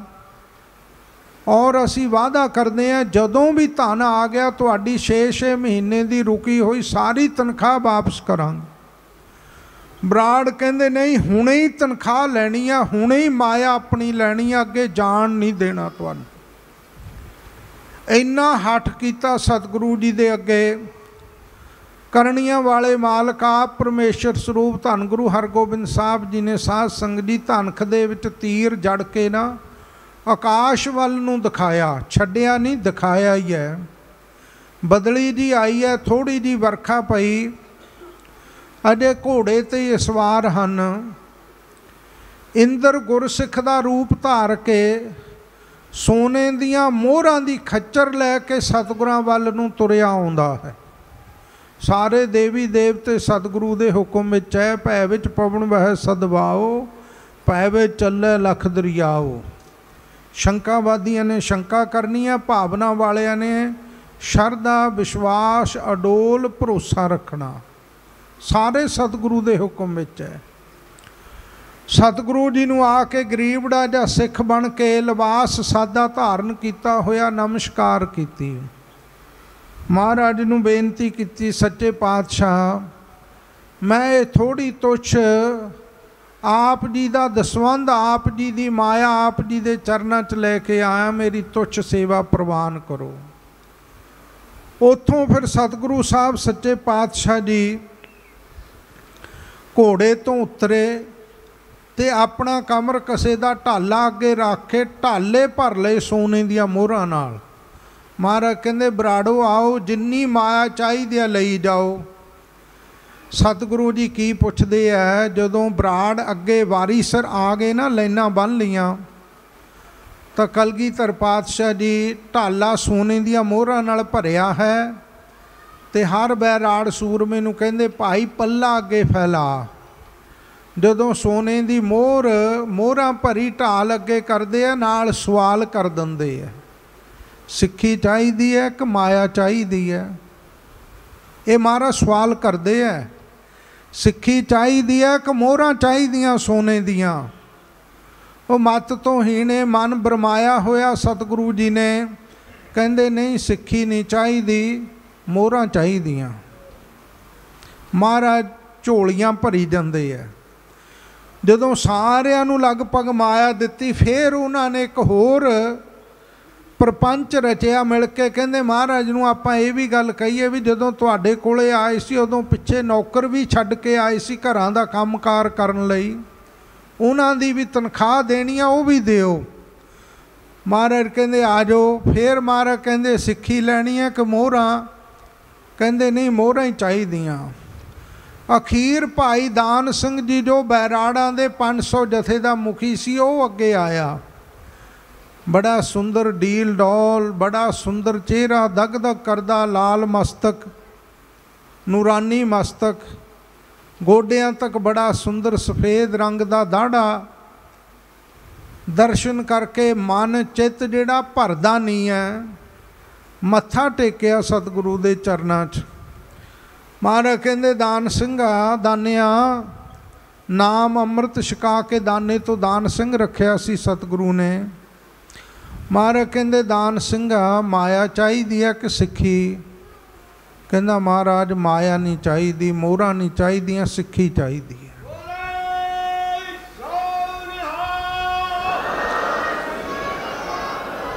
ਤੁਹਾਡੇ ਦਰਸ਼ਨ ਕਰਕੇ, ਤੁਹਾਡੀ ਸੰਗਤ ਕਰਕੇ, ਇੰਨਾ ਕੁ ਤਾਂ ਮੈਨੂੰ ਤੁਸੀਂ ਗਿਆਨ ਬਖਸ਼ਿਆ ਕਿ ਮਾਇਆ ਤਾਂ ਤੁਹਾਡੇ ਚਰਨਾਂ ਦੀ ਦਾਸੀ ਹੈ। ਜਿਹੜਾ ਸਿੱਖ ਤੁਹਾਡੀ ਸਿੱਖੀ ਕਮਾਉਂਦਾ, ਉਹਦੇ ਘਰ ਵਿੱਚ ਕੋਈ ਕਮੀ ਨਹੀਂ ਰਹਿੰਦੀ, ਘਾਟ ਨਹੀਂ ਰਹਿੰਦੀ। ਇਸ ਕਰਕੇ ਸੱਚੇ ਪਾਤਸ਼ਾਹ ਜੋ ਮੰਗੈ, ਠਾਕੁਰ ਆਪਣੇ ਤੇ ਸੋਈ ਸੋਈ ਦੇਵੈ। ਮਹਾਰਾਜ, ਮਾਇਆ ਨਹੀਂ ਚਾਹੀਦੀ, ਮੋਹਰਾਂ ਨਹੀਂ ਚਾਹੀਦੀਆਂ, ਸਿੱਖੀ ਬਖਸ਼ ਦਿਓ। ਮਹਾਰਾਜ ਕਹਿੰਦੇ, ਵੇਖ ਲੈ, ਇਕੱਲਾ ਹੀ ਰਹਿ ਗਿਆ, ਸਾਰਾ ਭਾਈਚਾਰਾ ਇੱਕ ਪਾਸੇ ਹੈ। ਭਾਈਚਾਰੇ ਨੂੰ ਨਹੀਂ ਛੱਡੀਦਾ, ਸਾਰੇ ਤੇਰੇ ਖਿਲਾਫ ਮਾਲਵੇ ਦੇਸ਼ ਵਿੱਚ ਬਗਾਵਤ ਹੋ ਜਾਏਗੀ, ਜਿਹੜਾ ਚੌਧਰੀ ਪੁਣਾ ਉਹ ਵੀ ਖੁੱਸ ਜਾਏਗਾ। ਆਪਣੇ ਭਰਾਵਾਂ ਨਾਲ ਰਲ ਜਾ, ਮਾਇਆ ਲੈ ਲੈ। ਇਹ ਮੋਹਰਾਂ ਲੈ ਲੈ। ਕਹਿੰਦਾ, ਨਾ ਮਹਾਰਾਜ, ਮੋਹਰਾਂ ਨਹੀਂ ਲੈਣੀਆਂ, ਸਿੱਖੀ ਦੀ ਦਾਤ ਮੇਰੀ ਝੋਲੀ ਵਿੱਚ ਪਾ ਦਿਓ। ਤੀਜੀ ਵਾਰੀ ਕਿਹਾ, ਸਤਿਗੁਰੂ ਜੀ ਨੇ ਜਦੋਂ ਤੀਸਰੀ ਵਾਰੀ ਬਚਨ ਕੀਤਾ, ਫੇਰ ਗਲ ਵਿੱਚ ਪੱਲਾ ਪਾ ਕੇ ਚਰਨਾਂ ਵਿੱਚ ਮੱਥਾ ਟੇਕ ਕੇ ਵੈਰਾਗ ਕਰਨ ਲੱਗ ਗਿਆ। ਮਾਰਾ ਮੈਨੂੰ ਕਿਉਂ ਭਰਮਾਉਂਦੇ ਹੋ? ਇਹ ਮਨਮੁਖ ਭਰਮ ਗਏ, ਪਰ ਮੈਂ ਤਾਂ ਤੁਹਾਡਾ ਨਿਮਾਣਾ ਸਿੱਖਾਂ ਮੈਨੂੰ ਕਿਰਪਾ ਕਰਕੇ ਮੇਰੀ ਝੋਲੀ ਵਿੱਚ ਸਿੱਖੀ ਦੀ ਦਾਤ ਪਾਓ। ਮਹਾਰਾਜ ਜੀ ਨੇ ਗਲਵਕੜੀ ਵਿੱਚ ਲੈ ਲਿਆ। ਕਹਿਣ ਲੱਗੇ, ਭਾਈ ਮਹਾ ਸਿੰਘ ਨੇ ਮਾਝੇ ਦੀ ਰੱਖੀ ਸੀ, ਤੂੰ ਅੱਜ ਮਾਲਵੇ ਦੀ ਰੱਖ ਲਈ। ਐਸਾ ਕੌਤਕ ਰਚਿਆ ਸੀ। ਸੋ ਮਹਾਰਾਜ ਨੇ ਬਚਨ ਤਾਂ ਹੀ ਕਹੇ, ਹਮੈ ਕੌਮ ਬੈਰਾੜ ਅਸਤ। ਮੇਰੀ ਕੌਮ, ਮੇਰਾ ਕਬੀਲਾ ਬੈਰਾੜ ਹਨ। ਇੰਨਾ ਮਾਣ ਸਤਕਾਰ ਦਿੱਤਾ। ਉਸ ਬੈਰਾੜ ਕੁਲ ਵਿੱਚ ਮਹਾਪੁਰਖਾਂ ਦਾ ਜਨਮ ਹੋਇਆ। 2 ਜੂਨ 1947 ਨੂੰ, ਅੱਜ ਦੇ ਦਿਨ, ਧੰਨ ਸੋ ਵੰਸ਼। ਉਹ ਵੰਸ਼, ਉਹ ਖਾਨਦਾਨ ਜਿਹੜਾ ਗੁਰੂ ਦੀ ਕਿਰਪਾ ਨਾਲ ਵਰੋਸ ਆਇਆ ਬੈਰਾਣਾ ਦਾ ਬਹੁਤ ਵੱਡਾ ਕਬੀਲਾ ਪਿੱਛੋਂ ਸਾਧ ਸੰਗਤ ਜੀ ਇਹ ਬੀਕਾਨੇਰ ਤੋਂ ਪਰੇ ਉਹਨਾਂ ਇਲਾਕਿਆਂ ਦੇ ਵਿੱਚੋਂ ਚੱਲਦੇ ਚਲਦੇ ਇਸ ਇਲਾਕੇ ਵਿੱਚ ਆਏ ਸਨ। ਇਹ ਜਿੰਨੀਆਂ ਨਾਭਾ ਰਿਆਸਤਾਂ, ਪਟਿਆਲਾ ਰਿਆਸਤਾਂ, ਇਹ ਸਾਰੀਆਂ ਬੈਰਾੜਾਂ ਦੀਆਂ ਤੇ ਸਿੱਧੂਆਂ ਦੀਆਂ ਸਨ। ਬੜਾ ਰਾਜ ਭਾਗ ਮਹਾਰਾਜ ਨੇ ਇਹਨਾਂ ਨੂੰ ਬਖਸ਼ਿਸ਼ ਕੀਤਾ ਹੋਇਆ ਸੀ। ਇਸ ਕਰਕੇ ਭਾਈ ਦਾਨ ਸਿੰਘ ਦੀ ਵਰੋਸਾਈ ਹੋਈ ਪੀੜ੍ਹੀ ਵਿੱਚ ਧਨ ਸੋ ਵੰਸ਼, ਉਹ ਵੰਸ਼, ਉਹ ਖਾਨਦਾਨ ਧੰਨ ਹੈ। ਧਨ ਸੋ ਪਿਤਾ, ਉਹ ਪਿਤਾ ਵੀ ਧਨਤਾ ਦੇ ਯੋਗ ਹੈ। ਉਹ ਮਾਤਾ, ਉਹ ਵੀ ਧਨਤਾ ਦੇ ਯੋਗ ਹੈ, ਜਿਨ੍ਹਾਂ ਦੇ ਘਰ ਵਿੱਚ ਰੱਬ ਦੇ ਪਿਆਰੇ ਜਨ ਸੇਵਕਾਂ ਨੇ ਜਨਮ ਲਿਆ। ਅੱਜ ਦੇ ਦਿਨ ਰੋਡੇ ਨਗਰ ਵਿੱਚ, ਜਿੱਥੇ ਸਤਿਗੁਰੂ ਮਹਾਰਾਜ ਜੀ ਦੀ ਕਿਰਪਾ, ਉਹਨਾਂ ਦੀ ਬਖਸ਼ਿਸ਼, ਉਹਨਾਂ ਦੀ ਰਹਿਮਤ ਨਾਲ ਅੱਜ ਜਥੇਬੰਦੀ ਵੱਲੋਂ ਉਹਨਾਂ ਦਾ ਜਨਮ ਸਥਾਨ ਗੁਰਦੁਆਰਾ ਸੰਤ ਖਾਲਸਾ ਬਣਾ ਕੇ ਸਥਾਪਿਤ ਕਰ ਦਿੱਤਾ ਗਿਆ।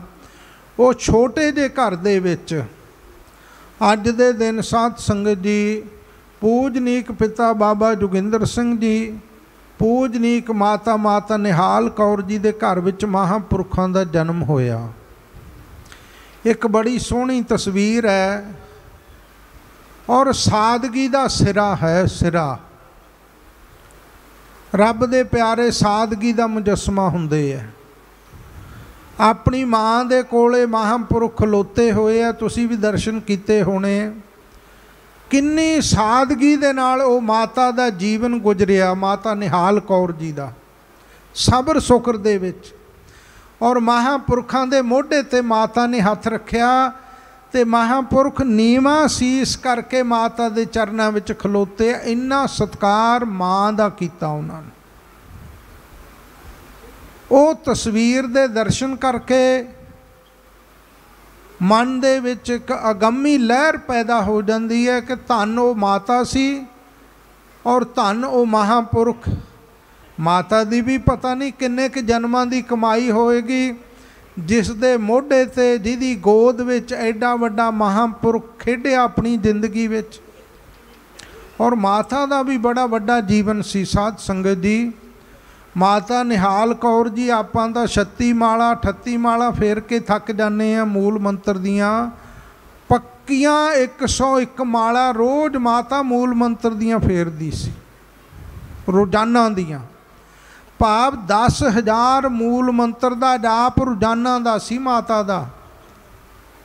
ਔਰ ਮੈਂ ਵੀ ਜਿਨ੍ਹਾਂ ਨੇ ਦਰਸ਼ਨ ਕੀਤੇ ਆ, ਸਾਰੀ ਜ਼ਿੰਦਗੀ ਮਾਤਾ ਦੇ ਹੱਥ ਵਿੱਚੋਂ ਕਦੇ ਮਾਲਾ ਛੁੱਟੀ ਨਹੀਂ ਦੇਖੀ। ਪੰਜਾਂ ਕਕਾਰਾਂ ਦੀ ਰਹਿਤ ਵਿੱਚ ਪ੍ਰਪੱਕ ਧਾਰਨੀ ਔਰ ਕੈਸਾ ਗੁਰਸਿੱਖੀ ਵਾਲਾ ਜੀਵਨ, ਅੰਮ੍ਰਿਤ ਵੇਲੇ ਉੱਠ ਕੇ ਇਸ਼ਨਾਨ ਕਰਨਾ ਔਰ ਮੂਲ ਮੰਤਰ ਵਾਹਿਗੁਰੂ ਮੰਤਰ ਦਾ ਜਾਪ। ਹੋਰ ਬਹੁਤਾ ਨਿਤਨੇਮ ਨਹੀਂ ਉਹਨਾਂ ਨੂੰ ਕਰਨਾ ਆਉਂਦਾ ਸੀ। ਮੂਲ ਮੰਤਰ ਵਾਹਿਗੁਰੂ ਮੰਤਰ ਦਾ ਜਾਪ। ਔਰ ਜਦੋਂ ਪ੍ਰਸ਼ਾਦਾ ਤਿਆਰ ਕਰਨਾ, ਮਰਜ਼ਾਦਾ ਨਾਲ ਤਿਆਰ ਕਰਨਾ, ਮੂਲ ਮੰਤਰ ਦਾ ਜਾਪ ਕਰਦਿਆਂ ਪ੍ਰਸ਼ਾਦਾ ਤਿਆਰ ਕਰਕੇ ਸਭ ਤੋਂ ਪਹਿਲਾਂ ਪੰਜ ਪ੍ਰਸ਼ਾਦੇ ਥਾਲੀ ਵਿੱਚ ਰੱਖ ਕੇ, ਜੇ ਘਰ ਵਿੱਚ ਦਾਲ, ਸਬਜ਼ੀ ਆ, ਅਤ ਦਰਜੇ ਦੀ ਗਰੀਬੀ ਸੀ ਮਹਾਂਪੁਰਖਾਂ ਦੇ ਘਰ ਵਿੱਚ ਸਾਧ ਸੰਗਤ ਜੀ। ਮੰਨ ਲਓ ਸਾਰੇ ਸੰਸਾਰ ਦੀ ਗਰੀਬੀ ਨੇ ਸੰਤ ਬਾਬਾ ਜਰਨੈਲ ਸਿੰਘ ਜੀ ਦੇ ਘਰ ਵਿੱਚ ਡੇਰਾ ਹੀ ਲਾਇਆ ਹੋਇਆ ਸੀ, ਐਸੀ ਹਾਲਤ ਸੀ ਘਰ ਦੀ। ਸੰਤ ਬਾਬਾ ਕਰਤਾਰ ਸਿੰਘ ਜੀ ਖਾਲਸਾ ਜੀ ਦੇ ਸਮੇਂ ਦਾ ਬਚਨ ਹੈ, ਮਹਾਪੁਰਖਾਂ ਕੋਲੇ ਦੋ ਬੈਲ ਸਨ, ਦੋ ਮੱਝਾਂ ਸਨ, ਦੁੱਧ ਦੇਣ ਵਾਲੀਆਂ ਦੋ ਚਾਰ ਹੋਰ ਪਸ਼ੂ ਸਨ। ਹੱਤੀ ਖੇਤੀ ਕਰਦੇ ਨਾਲ ਨਾਲ ਜਪਜੀ ਸਾਹਿਬ ਦੇ ਪਾਠ ਕਰਦੇ 101 ਰੋਜ਼ਾਨਾ।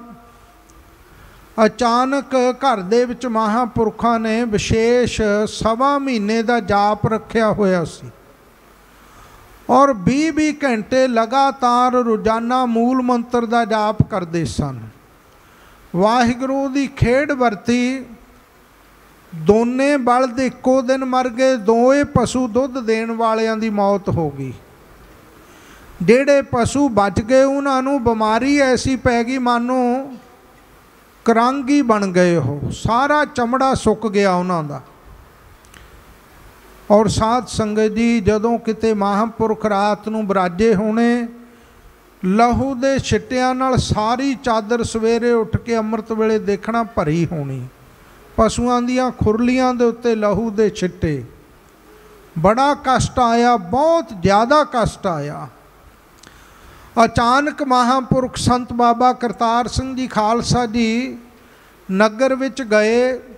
ਬਾਹਰ ਮਹਾਪੁਰਖਾਂ ਦਾ ਘਰ ਹੈ। ਬਾਅਦ ਵਿੱਚ ਫਿਰ ਆਪਣੀ ਜ਼ਮੀਨ ਵਿੱਚ ਮਹਾਪੁਰਖਾਂ ਦੇ ਪਿਤਾ ਸਤਕਾਰਯੋਗ ਬਾਬਾ ਜੋਗਿੰਦਰ ਸਿੰਘ ਜੀ ਨੇ ਸਾਰੇ ਪਰਿਵਾਰ ਦੀ ਰਹਿائش ਬਣਾ ਲਈ ਸੀ। ਪਿੰਡੋਂ ਉੱਠ ਕੇ ਕੋਠਾ ਗੁਰੂਪੁਰਾ ਬਸਤੀ ਹੈ। ਉਸ ਨਗਰ ਦਾ ਨਾਮ ਰੋਡਿਆਂ ਦਾ ਹਿੱਸਾ ਹੈ।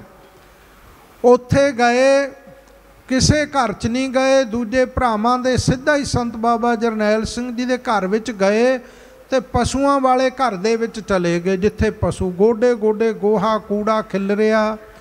ਇੱਕ ਪਾਸੇ ਦੀ ਪ੍ਰਵੇਸ਼ ਹੋਏ, ਦੂਜੇ ਪਾਸੇ ਦੀ ਜਦੋਂ ਬਾਹਰ ਨਿਕਲੇ, ਸੰਤ ਬਾਬਾ ਜਰਨੈਲ ਸਿੰਘ ਜੀ ਦੇ ਹੱਥ ਜੁੜੇ ਹੋਏ ਆ, ਸੀਸ ਝੁਕਾਇਆ ਹੋਇਆ।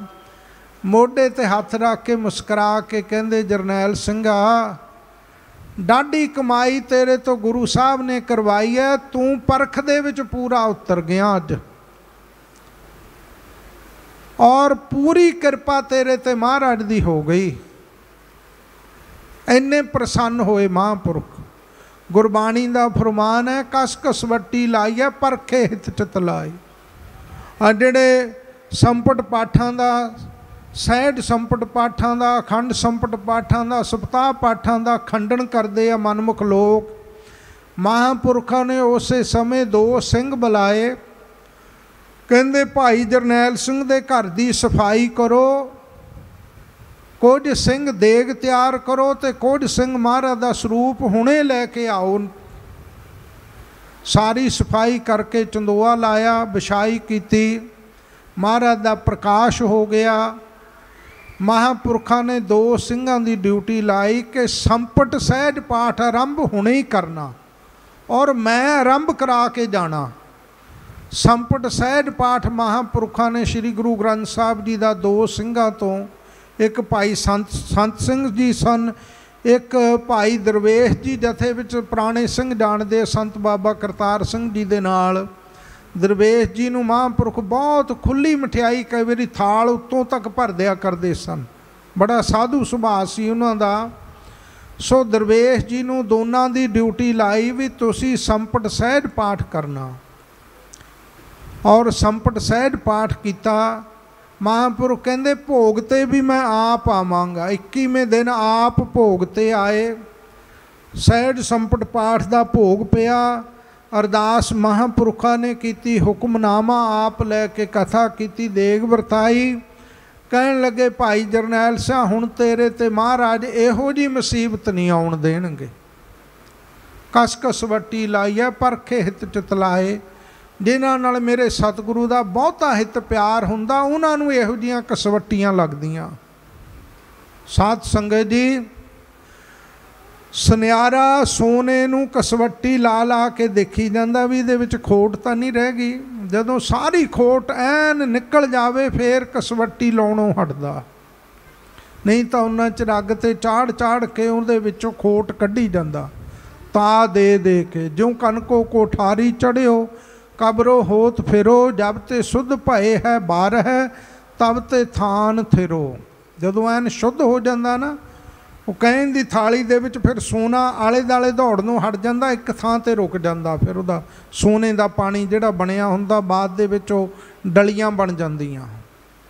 ਸਤਿਗੁਰੂ ਜੀ ਨੇ ਪ੍ਰਮਾਣ ਦਿੱਤਾ ਵੀ 12 ਬੰਨੀ ਦਾ ਜਦੋਂ ਸੁੱਧ ਹੋ ਜਾਂਦਾ, ਫਿਰ ਆਪਣੇ ਥਾਂ ਤੇ ਆ ਕੇ ਟਿਕ ਜਾਂਦਾ। ਇਸੇ ਤਰ੍ਹਾਂ ਗੁਰਸਿੱਖ ਦਾ ਹਿਰਦਾ ਜਦੋਂ ਐਨ ਸ਼ੁੱਧ ਹੋ ਜਾਂਦਾ, ਫਿਰ ਗੁਰ ਸ਼ਬਦ ਵਿੱਚ ਐਨ ਟਿਕ ਕੇ ਨਿਰਮਲ ਰੂਪ ਦੇ ਵਿੱਚ ਇਕਾਗਰ ਹੋ ਜਾਂਦਾ ਹੈ। ਫਿਰ ਮਨ ਭਟਕਦਾ ਨਹੀਂ ਹੈ। ਸੋ ਮਹਾਰਾਜ, ਸੱਚੇ ਪਾਤਸ਼ਾਹ ਨੇ ਬੜੀਆਂ ਬਖਸ਼ਿਸ਼ਾਂ ਕੀਤੀਆਂ। ਦਿਨਾਂ ਵਿੱਚ ਹੀ ਜਿਹੜੇ ਪਸ਼ੂ ਬਿਮਾਰ ਸਨ, ਤੰਦਰੁਸਤ ਹੋ ਗਏ ਐਨ। ਚੜ੍ਹਦੀਆਂ ਕਲਾ ਹੋ ਗਈਆਂ, ਬਖਸ਼ਿਸ਼ਾਂ ਹੋ ਗਈਆਂ। ਫੇਰ ਦੁੱਧ ਦਾ ਘਰ ਦੇ ਵਿੱਚ ਉਵੇਂ ਪਹਿਰਾ ਚੱਲ ਪਿਆ। ਸੋ ਸਾਧ ਸੰਗਤ ਜੀ, ਉਹਨਾਂ ਸਤਪੁਰਸ਼ਾਂ ਨੇ ਬੜੀ ਕਾਲਣਾ ਘਾਲੀ ਉਹਨਾਂ ਦੀ ਮਾਤਾ ਨੇ ਪੰਜ ਪ੍ਰਸ਼ਾਦੇ ਬਣਾਉਣੇ। ਮੈਂ ਬਚਨ ਕਰ ਰਿਹਾ ਸੀ। ਦਾਲ ਸਬਜੀ ਹੋਣੀ ਤਾਂ ਵੀ ਨਹੀਂ ਤਾਂ ਗੁੜ ਰੱਖ ਕੇ ਸ਼ੱਕਰ ਘਿਓ ਰਲਾ ਕੇ ਗੁਰੂ ਸਾਹਿਬ ਨੂੰ ਪਹਿਲਾਂ ਭੋਗ ਲਵਾਉਣਾ ਮਾਤਾ ਨੇ। ਫਿਰ ਆਪਣੇ ਬੱਚਿਆਂ ਨੂੰ, ਪਰਿਵਾਰ ਨੂੰ ਪ੍ਰਸ਼ਾਦਾ ਵਰਤਾਉਣਾ ਨਹੀਂ, ਉਨਾ ਚਿਰ ਪ੍ਰਸ਼ਾਦਾ ਨਹੀਂ ਛਕਣ ਨੂੰ ਦਿਆ ਕਰਦੇ, ਜਿੰਨਾ ਚਿਰ ਗੁਰੂ ਸਾਹਿਬ ਨੂੰ ਭੋਗ ਨਹੀਂ ਲੱਗ ਜਾਂਦਾ ਸੀ। ਮਾਤਾ ਜੀ ਇੰਨੀ ਮਰਜ਼ਾਦਾ ਆਪਣੇ ਜੀਵਨ ਕਾਲ ਵਿੱਚ ਨਿਭਾਉਂਦੇ ਰਹੇ। ਔਰ ਮਹਾਪੁਰਖਾਂ ਦੇ ਪਿਤਾ ਸਤਕਾਰਯੋਗ ਬਾਬਾ ਜੋਗਿੰਦਰ ਸਿੰਘ ਜੀ ਦਾ ਵੀ ਬਹੁਤ ਉੱਚਾ ਸੁੱਚਾ ਜੀਵਨ ਸੀ। ਪੰਜ ਬਾਣੀਆਂ, ਪੰਜ ਗ੍ਰੰਥੀ ਦੇ ਨਿਤਨੇਮੀ ਔਰ ਰੋਜ਼ਾਨਾ ਹੀ ਰੋਡੇ ਨਗਰ ਵਿੱਚ ਸ੍ਰੀ ਗੁਰੂ ਨਾਨਕ ਪ੍ਰਕਾਸ਼, ਸ੍ਰੀ ਗੁਰੂ ਸੂਰਜ ਪ੍ਰਕਾਸ਼ ਗ੍ਰੰਥ ਦੀ ਕਥਾ ਸ਼ਾਮ ਨੂੰ ਆਪਣੇ ਨਗਰ ਤੋਂ ਜਾ ਕੇ ਗੁਰਦੁਆਰਾ ਸਾਹਿਬ ਰੋਡੇ ਵਿੱਚ ਸੰਤ ਕਿਰਪਾਲ ਸਿੰਘ ਜੀ ਵਾਲੇ ਸਥਾਨ ਤੇ ਸੰਗਤਾਂ ਨੂੰ ਰੋਜ਼ਾਨਾ ਸੁਣਾਇਆ ਕਰਦੇ ਔਰ ਪੰਜਾਂ ਪਿਆਰਿਆਂ ਦੀ ਸੇਵਾ ਵਿੱਚ ਲੱਗ ਕੇ ਸੇਵਾ ਨਿਭਾਉਂਦੇ। ਇਸ ਕਰਕੇ ਪੰਡਿਤ ਗੁਲਾਬ ਸਿੰਘ ਜੀ ਨੇ ਲਿਖਿਆ, ਧੰਨ ਭਾਈ ਤਿਨ ਕੀ ਜਨਨੀ ਕਰਤਾਰਥਤਾ ਜਗ ਬੇਦਨ ਗਾਈ। ਇੰਨੀ ਸਫਲੀ ਹੋ ਗਈ ਉਹ ਮਾਤਾ, ਕਹਿੰਦੇ ਵੇਦਾਂ ਨੇ ਵੀ ਉਹਦੀ ਮਹਿਮਾ ਗਾਇਨ ਕੀਤੀ ਹੈ, ਜਿਹੜੀ ਸੰਤਾਂ ਭਗਤਾਂ ਨੂੰ ਸ਼ਹੀਦਾਂ, ਸੂਰਮਿਆਂ, ਯੋਧਿਆਂ ਨੂੰ ਜਨਮ ਦਿੰਦੀ ਹੈ। ਕਬੀਰ ਸਾਹਿਬ ਕਹਿੰਦੇ ਆ, ਜਿਹ ਕੁਲ ਪੂਤਨਾ ਗਿਆਨ ਵਿਚਾਰੀ, ਵਿਧਵਾ ਕਸਨਾ ਭਈ ਮਹਤਾਰੀ। ਜਿਹ ਨਾ ਰਾਮ ਭਗਤ ਨਹੀਂ ਸਾਦੀ ਜਨਮਤ ਕਸਨਾ ਮੂਓ ਅਪਰਾਧੀ। ਅਪਰਾਧੀਆਂ ਦੇ ਕੁੱਲ ਕਿਉਂ ਨਾ ਖਤਮ ਹੋ ਗਈ, ਜਿਨ੍ਹਾਂ ਦੀ ਕੁੱਲ ਵਿੱਚ ਗਿਆਨਵਾਨ ਪੁੱਤਰ ਪ੍ਰਭੂ ਦੇ ਪਿਆਰੇ ਨਹੀਂ ਪੈਦਾ ਹੋਏ। ਤੁਲਸੀ ਜੀ ਨੇ ਤਾਂ ਬੜਾ ਸੁੰਦਰ ਲਿਖਿਆ, ਜਨਨੀ ਜਨੈ ਤਾਂ ਭਗਤ ਜਨ ਕਹਿ ਦਾਤਾ ਕਹਿ ਸੂਰ, ਨਾਹੇ ਤਾਂ ਜਨਨੀ ਬਾਝ ਰਹਿ ਕਾਹੇ ਗਵਾਵੇ ਨੂਰ। ਮਾਂ ਪੁੱਤਰੀ ਕਹਿੰਦੇ, ਤਿੰਨ ਕਿਸਮ ਦੇ ਬੱਚਿਆਂ ਨੂੰ ਦਵੇ, ਤਿੰਨ ਦਰਜੇ ਦੇ ਬੱਚੇ ਹੋਣ ਜੇ ਹੋਣ ਘਰ ਦੇ ਵਿੱਚ। ਜਾਂ ਸੂਰਮਾ, ਜਾਂ ਭਗਤ, ਜਾਂ ਦਾਨੀ। ਤਿੰਨਾਂ ਚੋਂ ਇੱਕ ਨੂੰ ਜਨਮ ਦਿੰਦੀ ਹੈ ਤਾਂ ਉਹ ਮਾਂ ਧਨਤਾ ਦੇ ਯੋਗ ਬਣ ਜਾਂਦੀ ਹੈ, ਉਹ ਮਾਂ ਸਫਲੀ ਹੈ। ਇਸ ਕਰਕੇ ਐਸੀ ਮਾਂ ਦੀ ਮਹਿਮਾ ਵੇਦਾਂ ਨੇ ਵੀ ਗਾਈ ਹੈ ਵੀ ਉਹ ਮਾਂ ਧਨਤਾ ਦੇ ਯੋਗ ਹੈ। ਸੰਨਿਆਸੀ ਸੰਤਾਂ ਦੇ ਅੰਦਰ ਦੰਡੀ ਨਾਮ ਦੀ ਇੱਕ ਸੰਪਰਦਾਇ ਹੈ, ਬਹੁਤ ਉੱਚੇ ਉਹਨਾਂ ਨੂੰ ਮੰਨਿਆ ਜਾਂਦਾ। ਉਹ ਸਾਧ ਸੰਗਤ ਜੀ ਆਪਣੇ ਇਸ਼ਟ ਦੇਵ ਭਗਵਾਨ ਸ਼ੰਕਰ ਦੇ ਚਿੰਨ ਅੱਗੇ ਜਾ ਕੇ ਸਿਰ ਲਾ ਕੇ ਮੱਥਾ ਨਹੀਂ ਟੇਕ ਸਕਦੇ। ਉਹਨਾਂ ਦੇ ਹੱਥ ਵਿੱਚ ਡੰਡ ਹੁੰਦਾ, ਜੇ ਮੰਦਰ 'ਚ ਵੀ ਜਾਣਗੇ ਨਾ, ਤਾਂ ਉਹ ਡੰਡ ਨਾਲ ਹੀ ਮੱਥਾ ਟੇਕਣਗੇ, ਸਿਰ ਨਾਲ ਮੱਥਾ ਨਹੀਂ ਟੇਕਦੇ ਉਹਨਾਂ ਦੀ ਪਰੰਪਰਾ ਉਹਨਾਂ ਨੂੰ ਸਭ ਤੋਂ ਅੱਵਲ ਦਰਜੇ ਦੇ ਮਹਾਤਮਾ ਮੰਨਿਆ ਜਾਂਦਾ। ਪਰ ਉਹਨਾਂ ਲਈ ਇੱਕ ਵਿਧਾਨ ਲਿਖਿਆ ਹੋਇਆ, ਕਹਿੰਦੇ, ਜੇ ਅਗਰ ਤੁਹਾਡੀ ਮਾਂ ਕਿਤੇ ਸਾਹਮਣੇ ਆ ਜਾਏ ਤਾਂ ਮਾਂ ਨੂੰ ਡੰਡਵਤ ਭਾਵ ਲੰਮੇ ਪੈ ਕੇ ਡੰਡੌਤ ਕਰਨੀ ਹੈ। ਆਪਣੇ ਇਸ਼ਟ ਦੇਵ ਨੂੰ ਕਰੋ, ਨਾ ਕਰੋ, ਪਰ ਮਾਂ ਨੂੰ ਜ਼ਰੂਰ ਨਮਸਕਾਰ ਕਰਨੀ ਹੈ। ਇੰਨਾ ਸਨਮਾਨ ਮਾਂ ਨੂੰ ਦਿੱਤਾ। ਧੰਨ ਗੁਰੂ ਗੋਬਿੰਦ ਸਿੰਘ ਸਾਹਿਬ ਜੀ ਦਾ ਇਤਿਹਾਸ ਪੜ੍ਹੀਏ ਨਾ, ਤਾਂ ਸਾਧ ਸੰਗਤ ਜੀ ਜਦੋਂ ਮਹਾਰਾਜ ਪਟਨਾ ਸਾਹਿਬ ਤੋਂ ਆਏ, ਸ੍ਰੀ ਅਨੰਦਪੁਰ ਸਾਹਿਬ ਅੰਮ੍ਰਿਤ ਵੇਲੇ ਉੱਠ ਕੇ 9 ਸਾਲ ਦੀ ਅਵਸਥਾ ਹੈ। ਇਸ਼ਨਾਨ ਕਰਕੇ ਨਿਤਨੇਮ ਕਰਦੇ, ਵੱਡੀ ਮਾਤਾ ਮਾਤਾ ਨਾਨਕੀ ਜੀ ਜੋ ਬਾਬਾ ਬਕਾਲਾ ਸਾਹਿਬ ਤੋਂ ਸਨ। ਧੰਨ ਗੁਰੂ ਗੋਬਿੰਦ ਸਿੰਘ ਸਾਹਿਬ ਸੱਚੇ ਪਾਤਸ਼ਾਹ ਜੀ ਦੇ ਦਾਦੀ ਮਾਤਾ ਜੀ।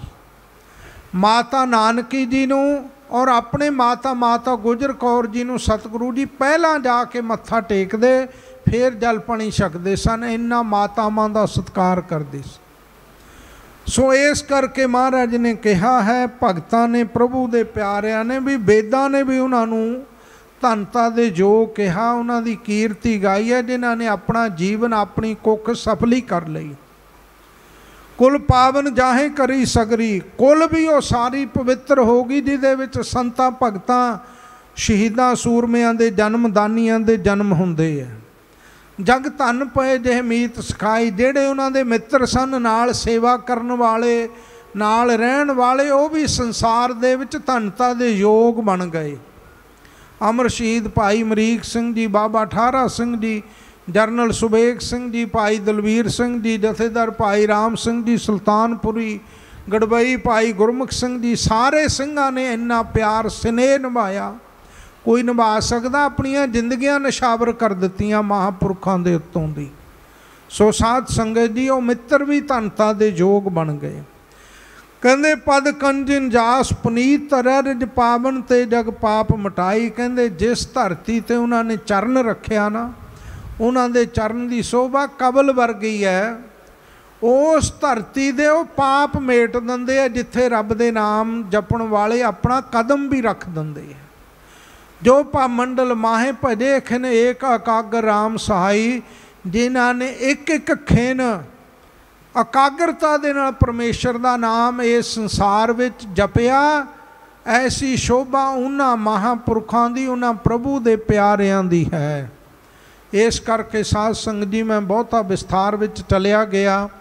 ਮਹਾਪੁਰਖਾਂ ਦੇ ਅੱਜ ਜਨਮ ਦਿਹਾੜੇ ਦੀ ਆਪ ਸੰਗਤਾਂ ਨੂੰ ਲੱਖ ਲੱਖ ਵਧਾਈ ਹੋਵੇ। ਕੈਸਾ ਸੰਜੋਗ ਹੈ? ਦੇਖੋ, ਜਨਮ ਵੀ ਉਹਨਾਂ ਦਾ ਸ਼ਹੀਦੀ ਦਿਹਾੜਿਆਂ ਦੇ ਦਿਨਾਂ ਵਿੱਚ ਹੀ ਆਉਂਦਾ ਹਰ ਸਾਲ। ਇਸ ਕਰਕੇ ਪਰ ਉਹਨਾਂ ਦਾ ਇਹ ਦਿਹਾੜਾ ਮਨਾਉਣਾ ਵੀ ਸਾਡਾ ਫਰਜ਼ ਬਣਦਾ। ਸੰਤ ਖਾਲਸਾ ਨਗਰ ਰੋਡੇ ਵਿਖੇ ਉਹਨਾਂ ਦਾ ਵੀ ਇਹ ਦਿਹਾੜਾ ਵਿਸ਼ੇਸ਼ ਰੂਪ ਦੇ ਵਿੱਚ ਸੰਗਤਾਂ ਮਨਾਉਂਦੀਆਂ ਹਨ। ਸੋ ਆਪਾਂ ਉਹਨਾਂ ਦੀ ਯਾਦ ਨੂੰ ਚੇਤੇ ਕੀਤਾ ਹੈ। ਆਓ, ਜੂਨ 84 ਦਾ ਉਹ ਘੱਲੂਕਾਰਾ ਜਦੋਂ ਅੱਜ ਦੇ ਦਿਨਾਂ ਵਿੱਚ ਸਮੇਂ ਦੀ ਜ਼ਾਲਮ ਹਕੂਮਤ ਨੇ ਸ੍ਰੀ ਹਰਮੰਦਰ ਸਾਹਿਬ ਦੀ, ਸ੍ਰੀ ਅਕਾਲ ਤਖਤ ਸਾਹਿਬ ਦੀ ਘੇਰਾਬੰਦੀ ਕੀਤੀ ਹੋਈ ਹੈ ਔਰ ਟੋਪਾਂ ਤੋਪਾਂ ਟੈਂਕਾਂ ਦੇ ਨਾਲ, ਮਸ਼ੀਨ ਗੰਨਾਂ ਦੇ ਨਾਲ, ਹਵਾਈ ਹਮਲਿਆਂ ਦੇ ਨਾਲ ਹਰਮੰਦਰ ਸਾਹਿਬ ਤੇ ਹਮਲੇ ਹੋ ਰਹੇ ਹੈ। ਤਾਨੋ ਗੁਰੂ ਕੇ ਲਾਲ ਇੱਕ ਇੱਕ ਸਿੰਘ ਹਜ਼ਾਰਾਂ ਜ਼ਾਲਮਾਂ ਦੇ ਨਾਲ ਜੂਝਦਾ ਹੋਇਆ ਸ਼ਹੀਦੀਆਂ ਪ੍ਰਾਪਤ ਕਰਦਾ ਜਾ ਰਿਹਾ ਹੈ। ਐਸਾ ਸ਼ਹੀਦੀ ਘੱਲੂਘਾਰਾ ਆਪਾਂ ਮਨਾ ਰਹੇ ਹਾਂ। ਆਓ ਸਤਿਗੁਰੂ ਜੀ ਦੇ ਗੁਰ ਇਤਿਹਾਸ ਦੀ ਕਥਾ, ਮਨ ਬਿਰਤੀ ਨੂੰ ਇਕਾਗਰ ਕਰਕੇ ਆਪਾਂ ਸਰਵਣ ਕਰੀਏ। ਕੱਲ ਸਾਧ ਸਿੰਘ ਜੀ ਭਾਈ ਪ੍ਰਾਗਾ, ਭਾਈ ਜੈਤਾਨੰਦਾ ਤਿੰਨ ਸਿੱਖਾਂ ਦੇ ਪ੍ਰਸੰਗਾਂ ਦੀ ਕਥਾ ਸੁਣੀ ਸੀ। ਅੱਜ ਸਤਿਗੁਰੂ ਜੀ ਦੇ ਚਰਨਾਂ ਵਿੱਚ ਭਾਈ ਤਲੋਕਾ, ਭਾਈ ਤੋਤਾ ਮਹਿਤਾ, ਇਹ ਦੋ ਸਿੱਖ ਸਤਿਗੁਰੂ ਜੀ ਦੇ ਚਰਨਾਂ ਵਿੱਚ ਆਏ ਆ ਉਹਨਾਂ ਨੂੰ ਸੱਚੇ ਪਾਤਸ਼ਾਹ ਬਹੁਤਾ ਹੀ ਪਵਿੱਤਰ, ਕਿਰਪਾ ਭਰਿਆ, ਬਖਸ਼ਿਸ਼ ਭਰਿਆ, ਉਪਦੇਸ਼ ਬਖਸ਼ਿਸ਼ ਕਰ ਰਹੇ ਹਨ। ਸੱਚੇ ਪਾਤਸ਼ਾਹ ਧੰਨ ਗੁਰੂ ਅਰਜਨ ਦੇਵ ਸਾਹਿਬ ਜੀ ਆਪ ਸੰਗਤਾਂ ਮਨ ਬਿਰਤੀ ਨੂੰ ਇਕਾਗਰ ਕਰਕੇ ਗੁਰ ਇਤਿਹਾਸ ਦੀ ਕਥਾ ਸੁਣੋ। ਸਾਰੇ ਇੱਕ ਵਾਰੀ ਗੱਜ ਕੇ ਆਖੋ ਵਾਹਿਗੁਰੂ। ਸਤਨਾਮ ਸ੍ਰੀ ਵਾਹਿਗੁਰੂ ਸਾਹਿਬ ਜੀ।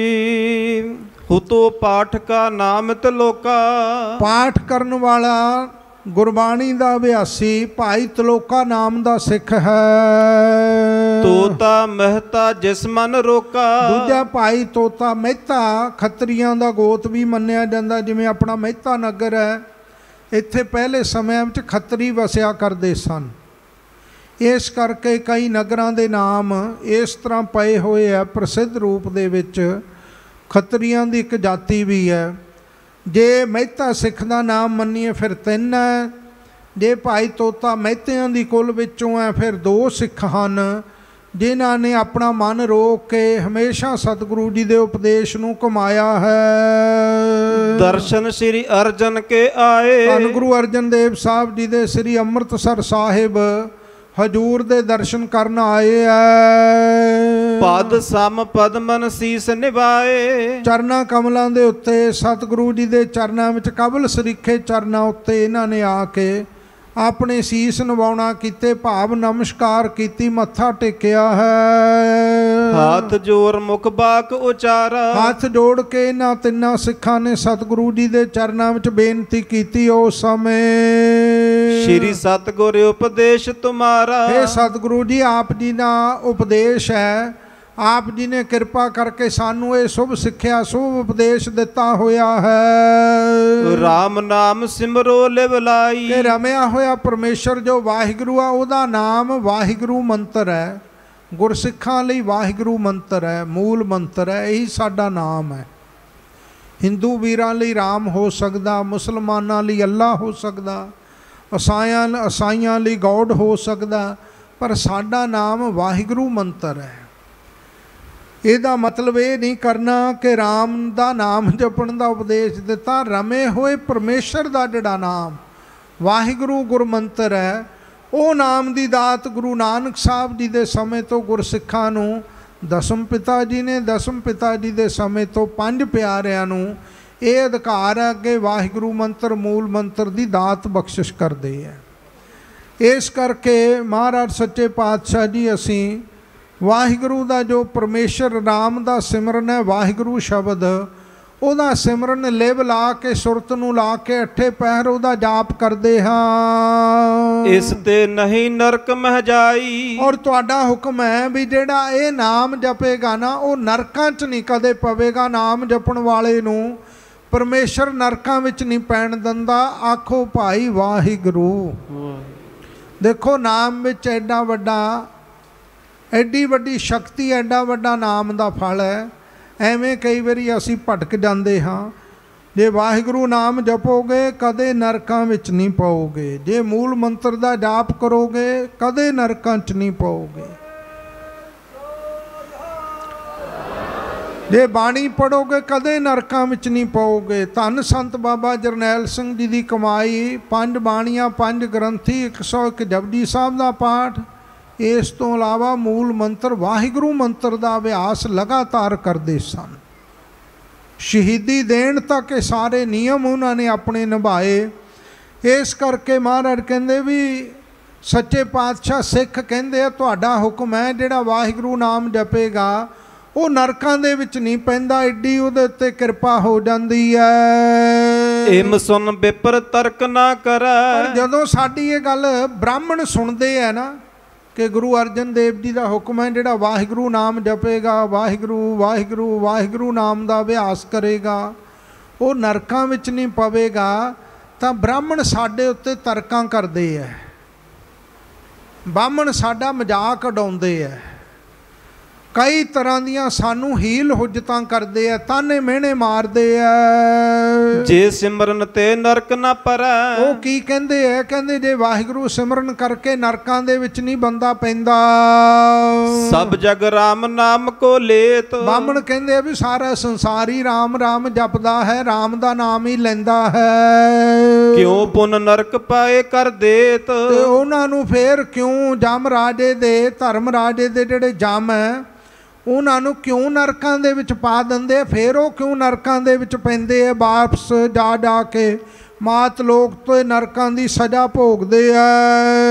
ਜੇ ਇਹ ਸੱਚ ਹੋਏ ਜਿਮ ਕਹਾ ਜੇ ਕਹਿੰਦੇ ਤੁਹਾਡੀ ਇਹ ਗੱਲ ਕਹੀ ਹੋਈ ਮੰਨ ਲਈਏ ਵੀ ਇਹ ਸੱਚੀ ਹੈ ਵੀ ਰੱਬ ਦਾ ਨਾਮ ਲੈਣ ਵਾਲਾ ਨਰਕ ਵਿੱਚ ਨਹੀਂ ਪੈਂਦਾ। ਕਿਉ ਪ੍ਰਭ ਨਰਕ ਬਨਾਵਨ ਚਾਹੈ? ਫਿਰ ਪ੍ਰਭੂ ਨੇ ਰੱਬ ਨੇ ਪਰਮੇਸ਼ਰ ਨੇ ਚਾਹ ਕੇ ਨਰਕ ਕਿਉਂ ਬਣਾਏ? ਫਿਰ ਨਰਕ ਬਣਾਉਂਦਾ ਹੀ ਨਾ। ਦੇਖੋ, ਮਨਮੁਖ ਬੰਦਾ ਜਦੋਂ ਹੀਲ ਹੁਜਤ ਤਰਕਾ ਮਾਰਦਾ ਨਾ, ਉਹ ਕਿਸੇ ਵੀ ਤਲ ਤੇ ਚਲਿਆ ਜਾਂਦਾ, ਉਹ ਰੱਬ ਨੂੰ ਵੀ ਨਹੀਂ ਮਾਫ ਕਰਦਾ। ਰੱਬ ਦੇ ਉੱਤੇ ਵੀ ਸਵਾਲ ਪੈਦਾ ਕਰ ਦਿੰਦਾ, ਮਨਮੁਖ ਬੰਦਾ ਤਰਕ ਦੇ ਆਸਰੇ।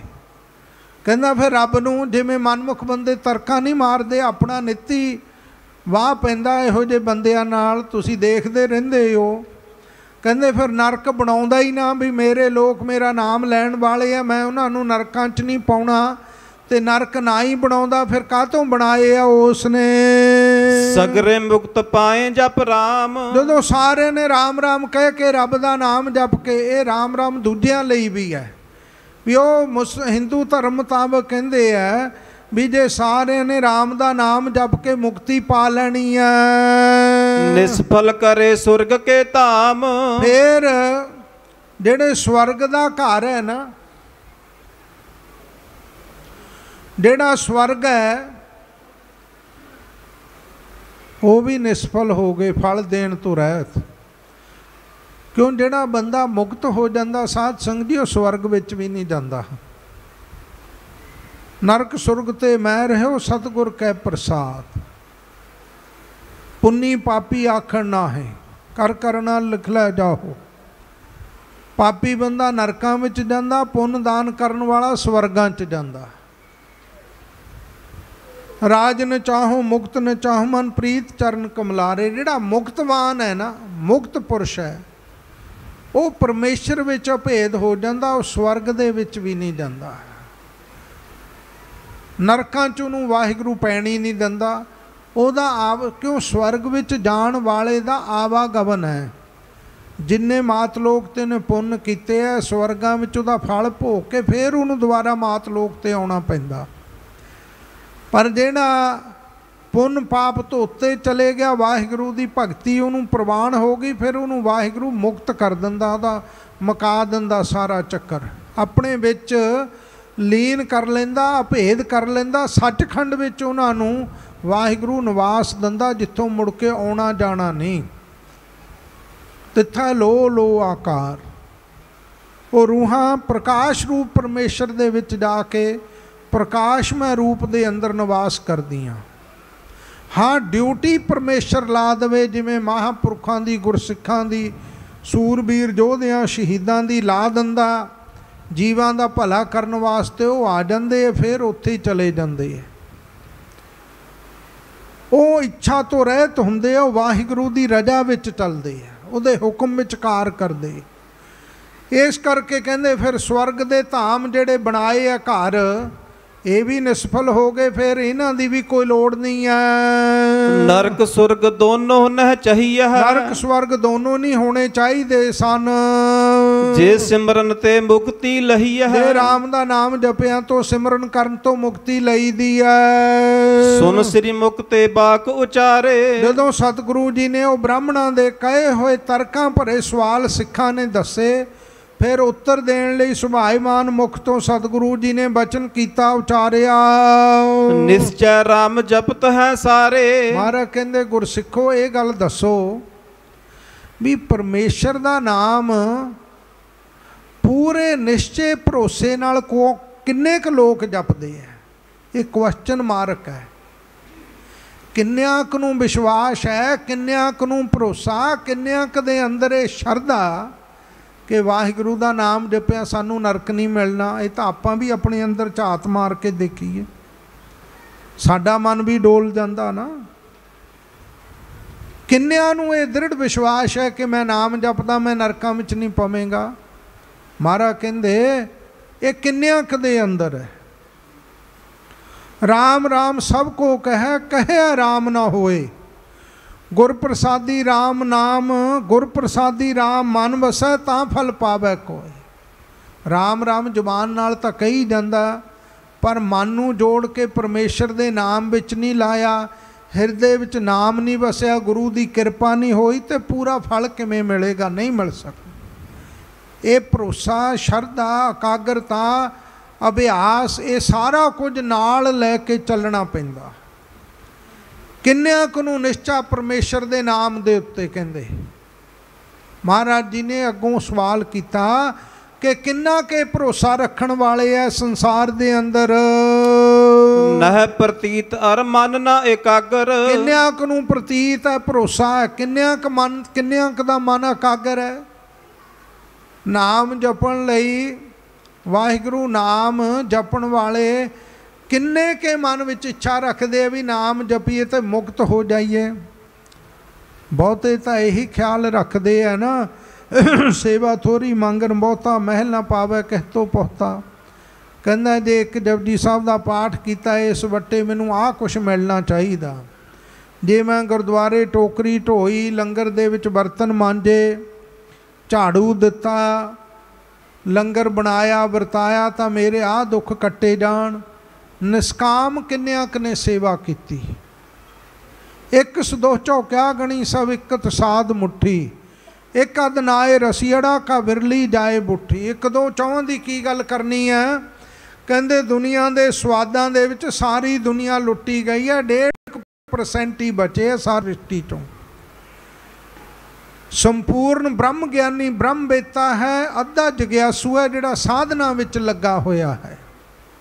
ਸੇਵਾ ਕਰਤ ਹੋਏ ਨੇ ਕਾਮੀ, ਤਿਸ ਕਾ ਹੋਤ ਪ੍ਰਾਪਤ ਸੁਆਮੀ ਕਾਹੂ ਫਲ ਕੀ ਇੱਛਾ ਨਹੀਂ ਬਾਚੈ, ਕੇਵਲ ਭਗਤ ਕੀਰਤਨ ਸੰਗ ਰਾਚੈ, ਰੋਜ਼ ਨਿਤਨੇਮ ਕਰਦੇ ਹੋ ਅਰਦਾਸ ਕਰਕੇ ਕਦੇ ਕਿਹਾ ਵੀ, ਸੱਚੇ ਪਾਤਸ਼ਾਹ, ਅੱਜ ਦਾ ਨਿਤਨੇਮ ਅੱਜ ਦਾ ਸਿਮਰਨ, ਅੱਜ ਦੀ ਪੜ੍ਹੀ ਬਾਣੀ ਮੈਂ ਤੁਹਾਨੂੰ ਅਰਪਿਤ ਕਰਦਾ।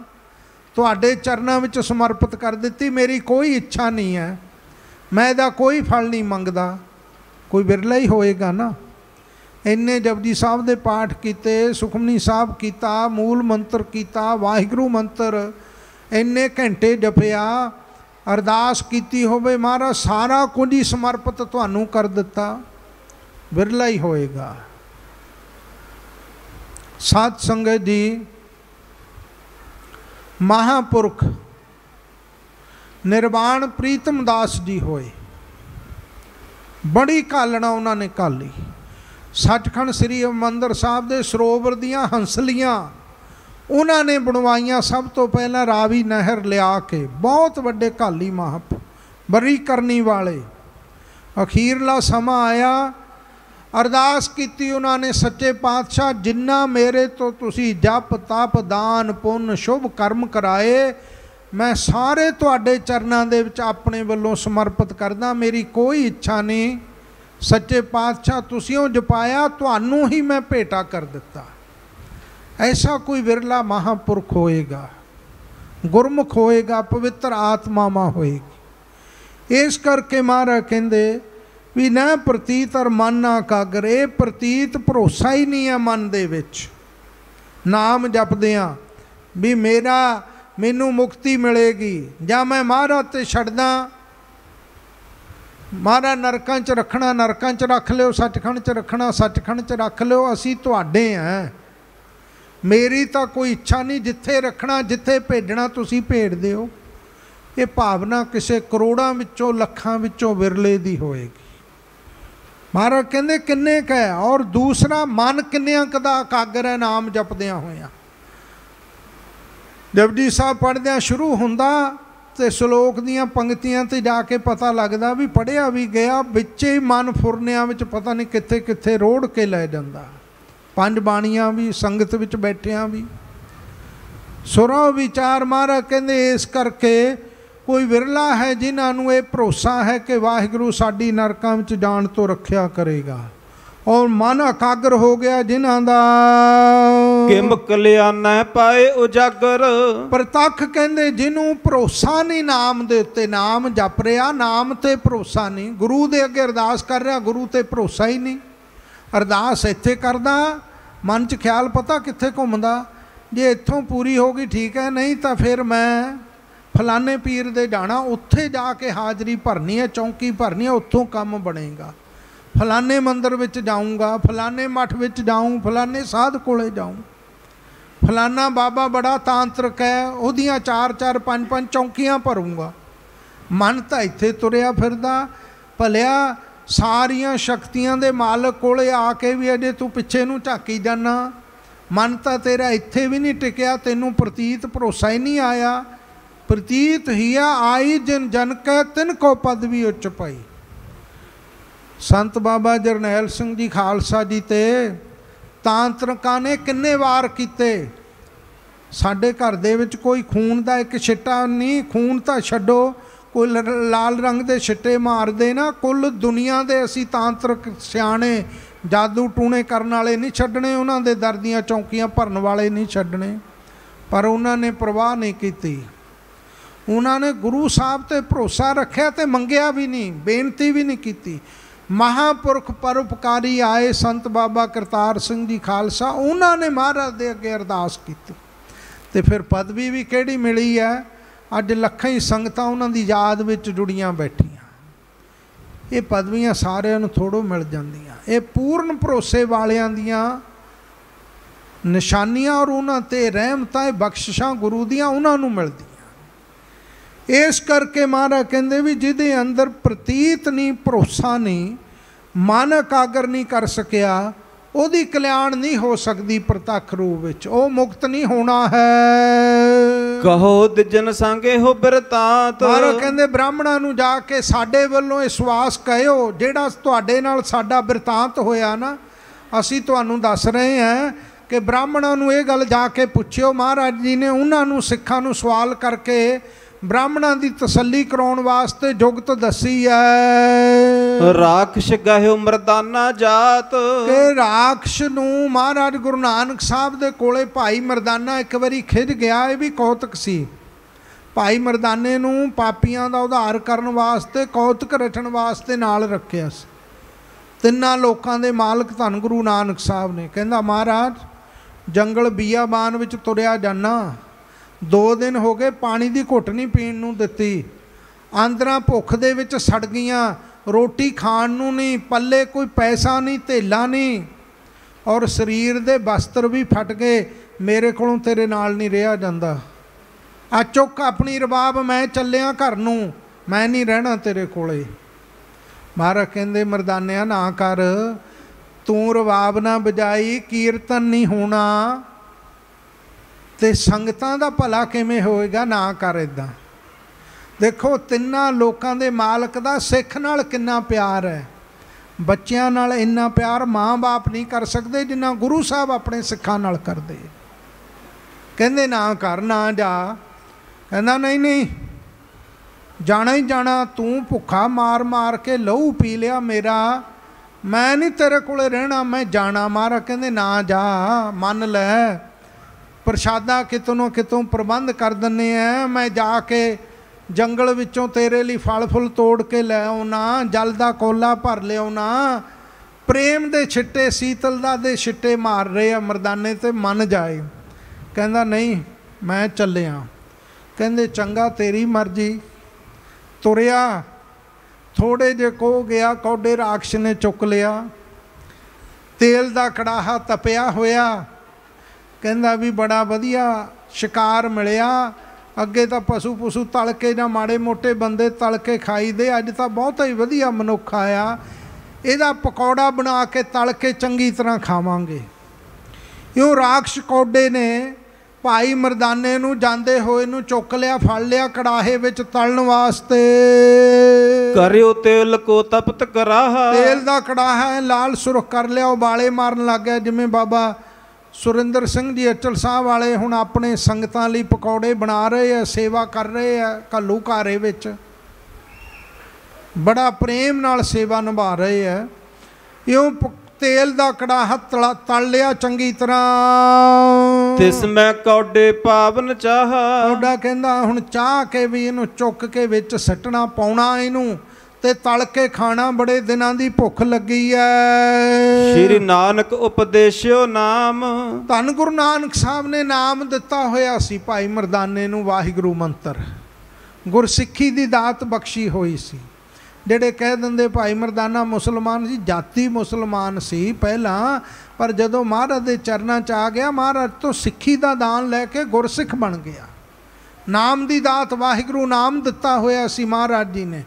ਗੁਰਸਿੱਖੀ ਧਾਰਨ ਕਰਾਈ ਤੇ ਜਿਹੜਾ ਨਾਮ ਗੁਰੂ ਨਾਨਕ ਸਾਹਿਬ ਨੇ ਦਿੱਤਾ ਹੋਇਆ ਸੀ ਉਪਦੇਸ਼ ਦੇ ਕੇ ਵਾਹਿਗੁਰੂ।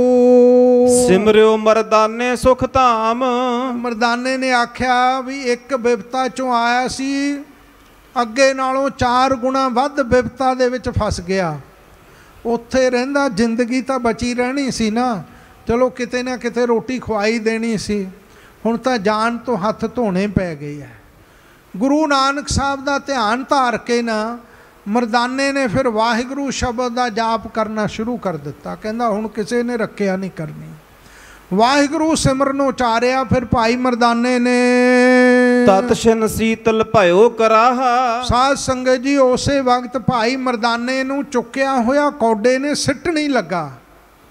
ਤੇ ਜਦੋਂ ਭਾਈ ਮਰਦਾਨੇ ਨੇ ਕਿਹਾ ਨਾ ਡਰ ਮਾਰੇ ਦੀ ਚੀਕ ਨਿਕਲ ਗਈ, ਨਾਲ ਵਾਹਿਗੁਰੂ ਸ਼ਬਦ ਨਿਕਲ ਗਿਆ।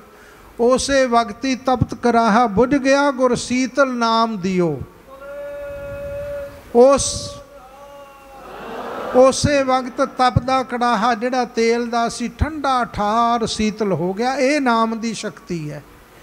ਇਹ ਭਰੋਸੇ ਵਾਲਿਆਂ ਤੇ ਕਿਰਪਾ ਵਰਤਦੀ ਹੈ। ਅਭਿਆਸ ਕੀਤਾ ਹੈ। ਗੁਰੂ ਨਾਨਕ ਸਾਹਿਬ ਹਿਰਦੇ ਵਿੱਚ ਵਸੇ ਹੋਏ ਆ। ਇਹ ਤਾਂ ਤੁਹਾਨੂੰ ਪ੍ਰਸੰਨ ਕਰਨ ਲਈ ਮੈਂ ਸ਼ਬਦ ਬੋਲ ਰਿਹਾ। ਚੀਕਾਂ ਉਹਨਾਂ ਦੀਆਂ ਕੀ ਨਿਕਲਣੀਆਂ, ਉਹ ਤਾਂ ਇਹਨਾਂ ਚੀਜ਼ਾਂ ਤੋਂ ਨਿਰਲੇਪ ਉੱਤੇ ਉੱਠੇ ਹੋਏ ਸਨ।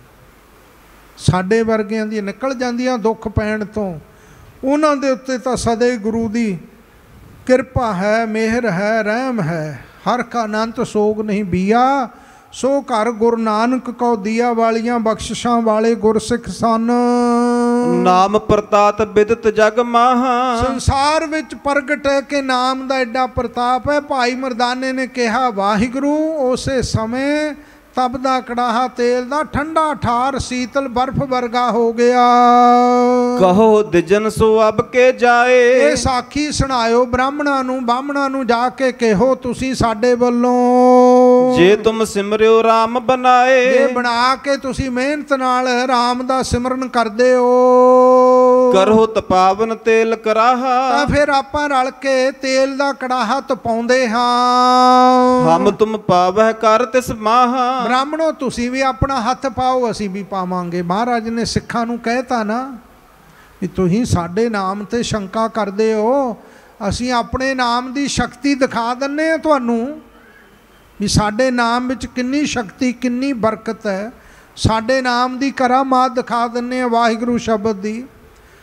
ਕਹਿੰਦੇ, ਤੁਸੀਂ ਰਾਮ ਰਾਮ ਕਹਿ ਕੇ ਤਬ ਦੇ ਕੜਾਹੇ ਵਿੱਚ ਹੱਥ ਪਾ ਦਿਓ ਪਹਿਲਾਂ।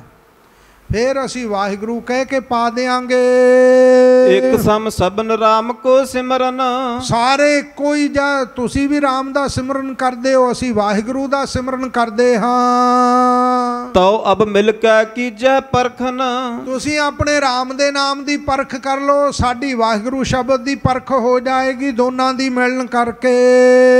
ਜਗ ਤ੍ਰਿਸ਼ਨਾ ਮੈਂ ਤਪਤ ਕਰਾਹੇ। ਇਹ ਸੰਸਾਰ ਵੀ ਤ੍ਰਿਸ਼ਨਾ ਰੂਪ ਕੜਾਹੇ ਦੇ ਵਿੱਚ ਤਪ ਰਿਹਾ ਹੈ ਭਾਵ ਇਹ ਸੰਸਾਰ ਜਿਹੜਾ ਹੈ ਤ੍ਰਿਸ਼ਨਾ ਦੇ ਕੜਾਹੇ ਵਿੱਚ ਤਪ ਰਿਹਾ ਸੜ ਰਿਹਾ ਹੈ। ਦਹੀਅਤ ਨਿਤ ਨਹਿ ਨਿਕਸਨ ਪਾਹੇ। ਨਿਤਾ ਪ੍ਰਤੀ ਤ੍ਰਿਸ਼ਨਾ ਦੀ ਅੱਗ ਵਿੱਚ ਜੀਵ ਸੜ ਰਹੇ ਨਿਕਲਣਾ ਨਹੀਂ ਪਾ ਰਹੇ ਹਨ। ਤ੍ਰਿਸ਼ਨਾ ਦੀ ਅੱਗ ਤੋਂ ਕੋਈ ਵਿਰਲਾ ਬਚਿਆ ਹੈ। ਗੁਰਮੁਖ ਕੋ ਗੁਰ ਬਖਸ਼ਹਿ ਨਾਮ। ਗੁਰਮੁਖਾਂ ਨੂੰ ਗੁਰੂ ਸਾਹਿਬ ਨੇ ਨਾਮ ਦੀ ਬਖਸ਼ਿਸ਼ ਕੀਤੀ ਹੋਈ ਹੈ ਤ੍ਰਿਸ਼ਨਾ ਦੇ ਸਾੜ ਤੋਂ ਬਚਣ ਲਈ ਅਸਲੀ ਸੀਤਲਤਾ ਠੰਡ ਪ੍ਰਾਪਤ ਕਰਨ ਲਈ।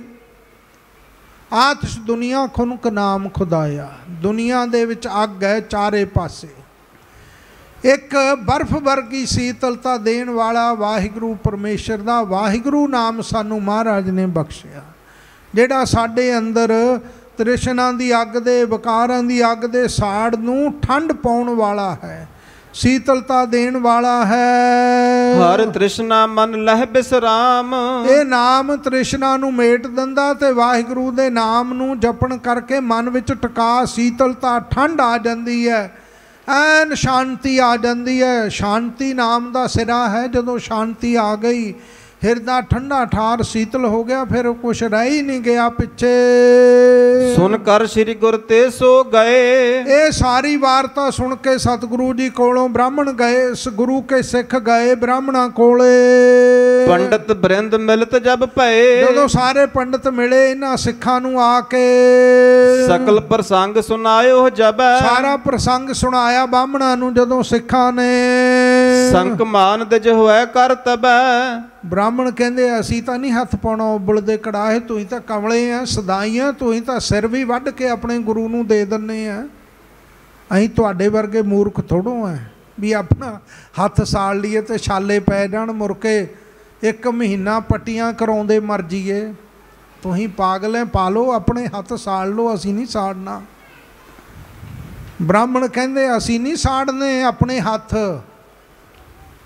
ਇਸ ਕਰਕੇ ਉਹਨਾਂ ਨੇ ਜਵਾਬ ਦੇ ਦਿੱਤਾ ਉਸ ਵਕਤ। ਕੂਰੇ ਭਏ ਹਾਥ ਨਹਿ ਕਾਲਾ। ਕਹਿੰਦੇ ਅਸੀਂ ਹੱਥ ਕਿਉਂ ਪਾਈਏ? ਤੁਸੀਂ ਪਾ ਲਓ ਭਾਵੇਂ ਸਾਰੇ ਵਿੱਚ ਪੈ ਜਾਓ ਤੇਲ ਦੇ ਭਾਈ। ਦਿਆਲੇ ਵਾਂਗੂ ਉਬਲ ਜਾਓ ਤੁਸੀਂ। ਅਸੀਂ ਨਹੀਂ ਪਾਉਣਾ ਹੱਥ ਉੱਤ। ਤੇ ਫਿਰ ਸਿੱਖ ਕਹਿੰਦੇ ਜੇ ਹੱਥ ਨਹੀਂ ਪਾਉਣਾ ਅੱਜ ਤੋਂ ਬਾਅਦ ਵਾਹਿਗੁਰੂ ਸ਼ਬਦ ਤੇ ਕਿਸੇ ਨੇ ਸ਼ੰਕਾ ਨਹੀਂ ਕਰਨੀ ਨਹੀਂ ਸੋਧਾ ਲੱਗੂਗਾ। ਭਾਈ ਤਲੋਕਾ ਕਹਿੰਦਾ, ਫਿਰ ਸਲੋਤਰ ਫਿਰੂਗਾ ਤੁਹਾਡੇ ਤੇ। ਜੇ ਅੱਜ ਤੋਂ ਬਾਅਦ ਵਾਹਿਗੁਰੂ ਸ਼ਬਦ ਤੇ ਕਿਸੇ ਨੇ ਸ਼ੰਕਾ ਕੀਤੀ। ਬ੍ਰਾਹਮਣ ਉਦੋਂ ਹੀ ਤਰਲੇ ਕਰਨ ਲੱਗ ਪਏ, ਕਹਿੰਦੇ, ਸਲੋਤਰ ਨਾ ਫੇਰਿਓ, ਬਾਰ-ਬਾਰ ਤੁਹਾਡੇ ਗੁਰੂ ਨੂੰ ਵੀ ਮੱਥਾ ਟੇਕਦੇ ਆ। ਤੁਹਾਡੇ ਸਲੋਤਰ ਦੀ ਮਾਰ ਬੜੀ ਭੈੜੀ ਹੈ ਤੇ ਇਸ ਕਰਕੇ ਸਾਡਾ ਖਿਹੜਾ ਛੱਡੋ। ਤੁਹਾਡਾ ਨਾਮ ਹੀ ਸਭ ਤੋਂ ਉੱਚਾ, ਅਸੀਂ ਉਸੇ ਨੂੰ ਮੱਥਾ ਟੇਕਦੇ ਆ, ਪਰ ਸਾਨੂੰ ਤੇਲ ਵਿੱਚ ਨਾ ਸਾੜੋ।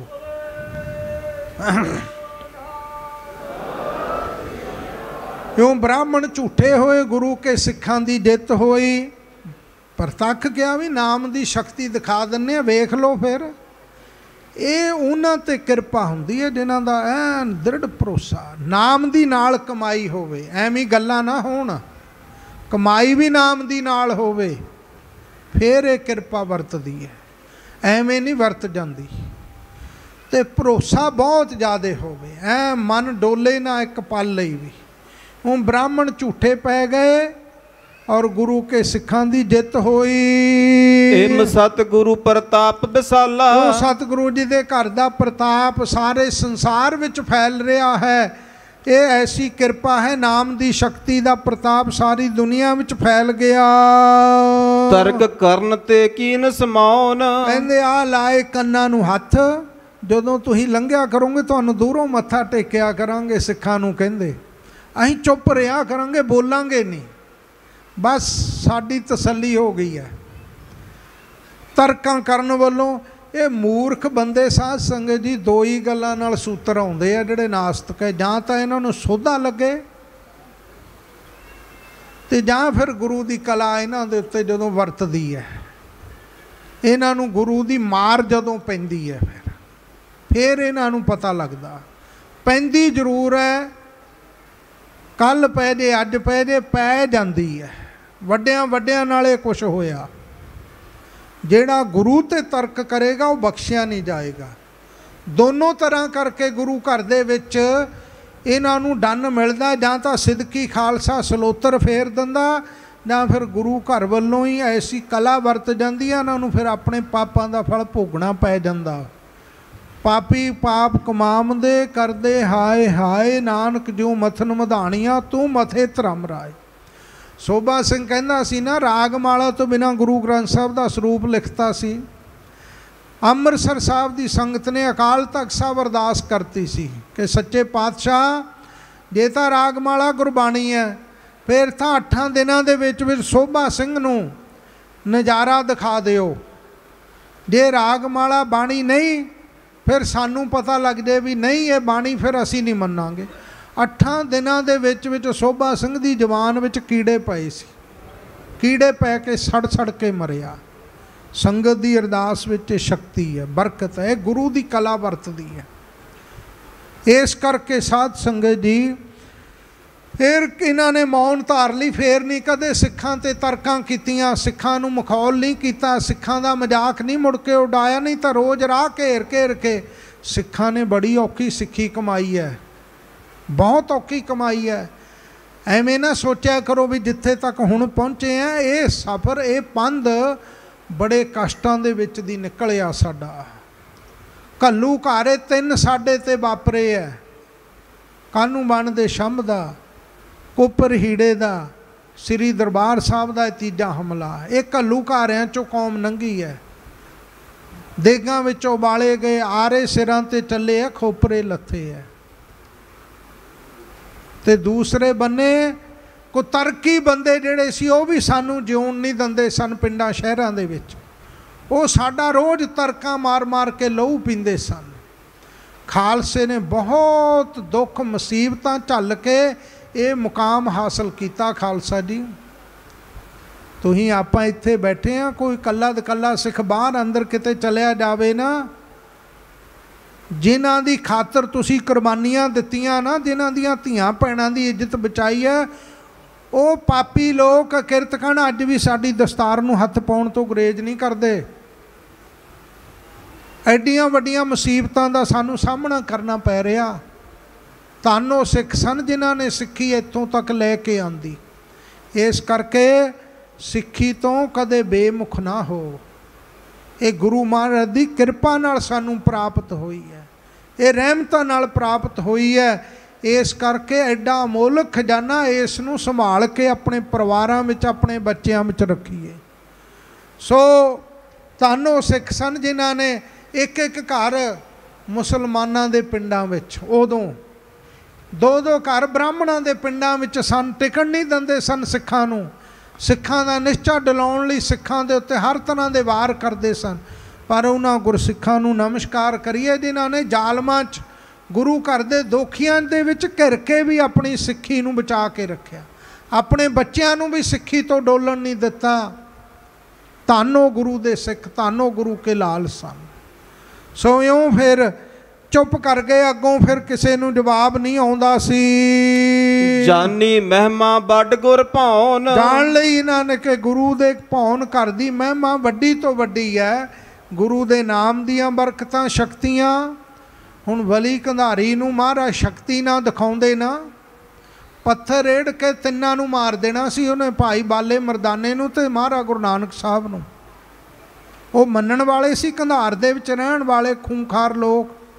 ਜਦੋਂ ਮਹਾਰਾਜ ਨੇ ਐ ਪੰਜਾ ਲਾਇਆ ਨਾ, ਫੇਰ ਹੀ ਆ ਕੇ ਗੋਡਨੇ ਪਰਨੀ ਹੋਇਆ ਗੁਰੂ ਨਾਨਕ ਸਾਹਿਬ ਦੇ ਚਰਨਾਂ ਵਿੱਚ। ਐਵੇਂ ਸ਼ਕਤੀਆਂ ਦਾ ਖੰਡਨ ਕਰੀ ਜਾਣਾ। ਜੇ ਗੁਰੂ ਨਾਨਕ ਸਾਹਿਬ ਦੇ ਘਰ ਵਿੱਚ ਕਰਾਮਾਤਾਂ ਨਹੀਂ, ਸ਼ਕਤੀਆਂ ਨਹੀਂ, ਫਿਰ ਨਰਕਧਾਰੀਆਂ ਦੇ ਘਰਾਂ ਵਿੱਚ ਸ਼ਕਤੀਆਂ ਸਾਧ ਸੰਗਤ ਜੀ। ਗੁਰੂ ਘਰ ਥਾ ਸ਼ਕਤੀਆਂ ਦਾ ਖਜ਼ਾਨਾ ਕਰਾਮਾਤਾਂ ਦਾ ਖਜ਼ਾਨਾ। ਸੰਤ ਭਾਈ ਮਨੀ ਸਿੰਘ ਜੀ ਦਾਲਪੁਰੇ ਭਾਈ ਕੇ ਵਾਲੇ ਅਫਰੀਕਾ ਵਿੱਚ ਸਿੱਖੀ ਦਾ ਪ੍ਰਚਾਰ ਕਰਨ ਗਏ, ਰੀਠੇ ਮਿੱਠੇ ਕਰਨ ਦੀ ਸਾਖੀ ਸੁਣਾਈ ਤਾਂ ਇੱਕ ਕਾਮਰੇਡ ਸੰਗਤ ਵਿੱਚ ਖੜਾ ਹੋ ਗਿਆ। ਕਹਿੰਦਾ, ਸੰਤਾ, ਕੁਫਰ ਨਾ ਤੋਲੋ, ਰੀਠੇ ਮਿੱਠੇ ਨਹੀਂ ਹੋ ਸਕਦੇ, ਮੈਂ ਨਹੀਂ ਮੰਨਦਾ। ਐਵੇਂ ਲੋਕਾਂ ਨੂੰ ਕਹਿੰਦਾ, ਮਗਰ ਲਾਉਣ ਵਾਸਤੇ ਗੁਰੂ ਨਾਨਕ ਸਾਹਿਬ ਦੀਆਂ ਝੂਠੀਆਂ ਗੱਲਾਂ ਬਣਾਈਆਂ ਤੁਸੀਂ। ਸੰਤ 101 ਜਪਜੀ ਸਾਹਿਬ ਦਾ ਰੋਜ਼ ਪਾਠ ਕਰਦੇ ਸੀ, ਸੰਤ ਭਾਈ ਮਨੀ ਸਿੰਘ ਜੀ ਦਿਆਲਪੁਰੇ ਭਾਈ ਕੇ ਵਾਲੇ। ਬੜੀ ਕਰਨੀ ਵਾਲੀ ਆਤਮਾ, ਸਾਦਾ ਜੀਵਨ। ਬਹੁਤ ਸਾਦੇ ਬਸਤਰ। ਕੀਰਤਨ ਕਰਨਾ ਤੇ ਸੰਗਤ ਨੇ ਮੰਤਰ ਮੁਗਧ ਹੋ ਜਾਣਾ। ਉਹਨੂੰ ਕਹਿੰਦੇ, ਮਹਾਪੁਰਖ ਨਿਮਰਤਾ ਦੇ ਪੁੰਜ। ਹੈ ਕਹਿੰਦੇ, ਭਾਈ, ਤੇਰੀ ਤਸੱਲੀ ਕਿਵੇਂ ਹੋਏਗੀ? ਸਖਤ ਨਹੀਂ ਬੋਲੇ। ਜਿਹਦੇ ਹਿਰਦੇ ਵਿੱਚ ਬਰਕਤਾਂ ਹੁੰਦੀਆਂ, ਉਹਨੂੰ ਮਾਣ ਹੁੰਦਾ ਆਪਣੇ ਗੁਰੂ ਤੇ। ਕਹਿੰਦਾ, ਉਹ ਸਾਦਾ ਆਪਣੇ ਗੁਰੂ ਦੀ ਗੱਲ ਛੱਡ। ਰੀਠੇ ਅੱਜ ਮਿੱਠੇ ਕਰਕੇ ਦਿਖਾ। ਸੰਤ ਕਹਿੰਦੇ, ਜਾ ਲੈ ਦੁਨੀਆ ਦੇ ਜਿਹੜੇ ਵੀ ਕੌੜੇ ਤੋਂ ਕੌੜੇ ਰੀਠੇ ਲੈ ਕੇ ਆ। ਬਾਜ਼ਾਰ ਵਿੱਚ ਗਿਆ, ਕੌੜੇ ਰਿੱਠੇ ਲਿਆਂਦੇ, ਕਹਿੰਦਾ, ਮਿੱਠੇ ਕਰਕੇ ਦਿਖਾ ਦੇ। ਤੇਰੇ ਗੁਰੂ ਨੂੰ ਮੰਨ ਜਾਗਾ, ਜਿੱਥੇ ਗੁਰੂ ਦੀ ਗੱਲ ਆ ਜਾਂਦੀ ਹੈ, ਉੱਥੇ ਸਿੱਖ ਫਿਰ ਸਭ ਕੁਝ ਆਪਣਾ ਦਾਅ ਤੇ ਲਾ ਦਿੰਦਾ। ਸੰਤਾਂ ਨੇ ਰੀਠੇ ਫੜ ਕੇ ਗੁਰੂ ਸਾਹਿਬ ਦੇ ਚਰਨਾਂ ਵਿੱਚ ਐਂ ਖਲੋ ਗਏ। ਕਹਿੰਦੇ, ਸੱਚੇ ਪਾਤਸ਼ਾਹ, ਤੁਸੀਂ ਸਿੱਧਾਂ ਦਾ ਮਾਣ ਮੇਟਣ ਵਾਸਤੇ ਪਹਿਲੇ ਸਰੂਪ ਵਿੱਚ ਰੀਠੇ ਮਿੱਠੇ ਕੀਤੇ ਸੀ। ਅੱਜ ਉਹੀ ਸਰੂਪ ਗੁਰੂ ਗ੍ਰੰਥ ਸਾਹਿਬ ਦੇ ਰੂਪ ਵਿੱਚ ਤੁਸੀਂ ਹਾਜ਼ਰ ਨਾਜ਼ਰ ਹੋ। ਇਹ ਨਾਸਤਕ ਨੇ ਤੁਹਾਡੀ ਕਰਾਮਾਤ ਤੇ ਤੁਹਾਡੇ ਸਰੂਪ ਤੇ ਸ਼ੰਕਾ ਕੀਤੀ ਹੈ। ਇਸ ਕਰਕੇ ਮਹਾਰਾਜ, ਅੱਜ ਵੀ ਤੁਸੀਂ ਸਦਾ ਹਾਜ਼ਰ ਨਾਜ਼ਰ ਹੋ ਤੇ ਇਹਨਾਂ ਨੂੰ ਮਿੱਠੇ ਕਰ ਦਿਓ। ਸੱਚੇ ਪਾਤਸ਼ਾਹ, ਮੇਰੀ ਅਰਦਾਸ ਹੈ। ਮੈਂ ਕੱਲ ਕਿਹਾ ਸੀ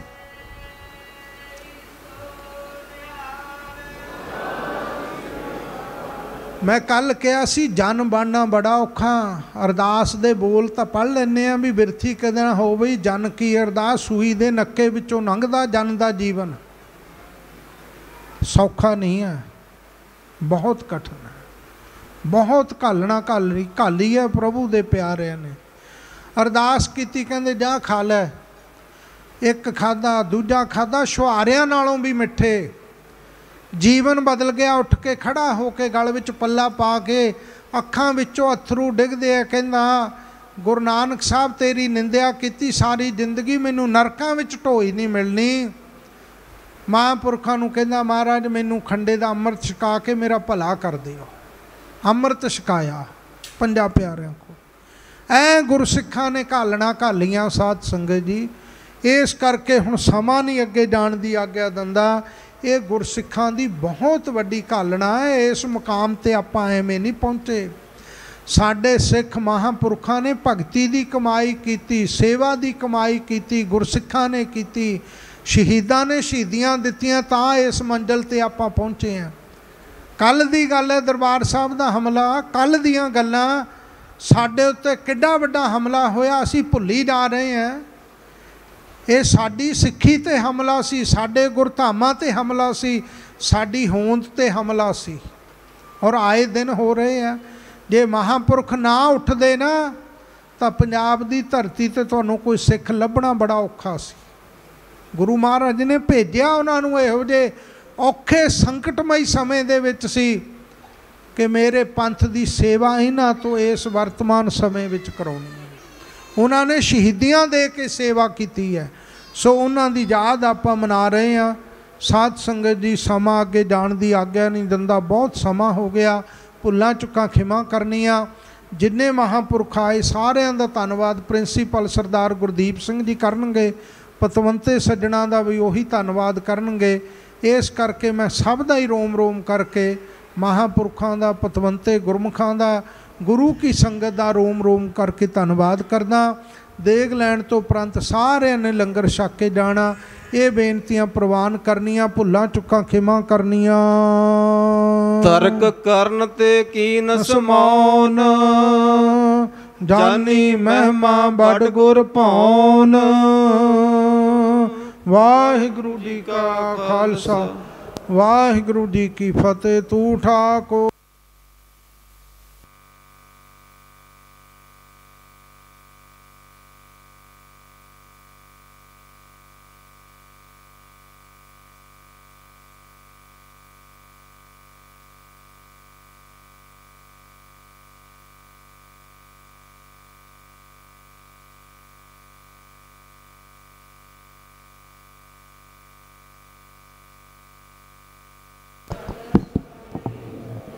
ਸੂਤਰ ਧਾਰੀ, ਤੁਮ ਤੇ ਹੋਏ ਸੋ ਆਗਿਆਕਾਰੀ ਤੁਮਰੀ ਨਾਨਕ ਦਾਸ ਸਦਾ ਕੁਰਬਾਨੀ, ਤੁਧ ਆਗੇ ਅਰਦਾਸ। ਜੀਉ ਪਿੰਡ ਸਭ ਤੇਰਾ ਵਾਹਿਗੁਰੂ, ਕਹੋ ਨਾਨਕ ਸਭ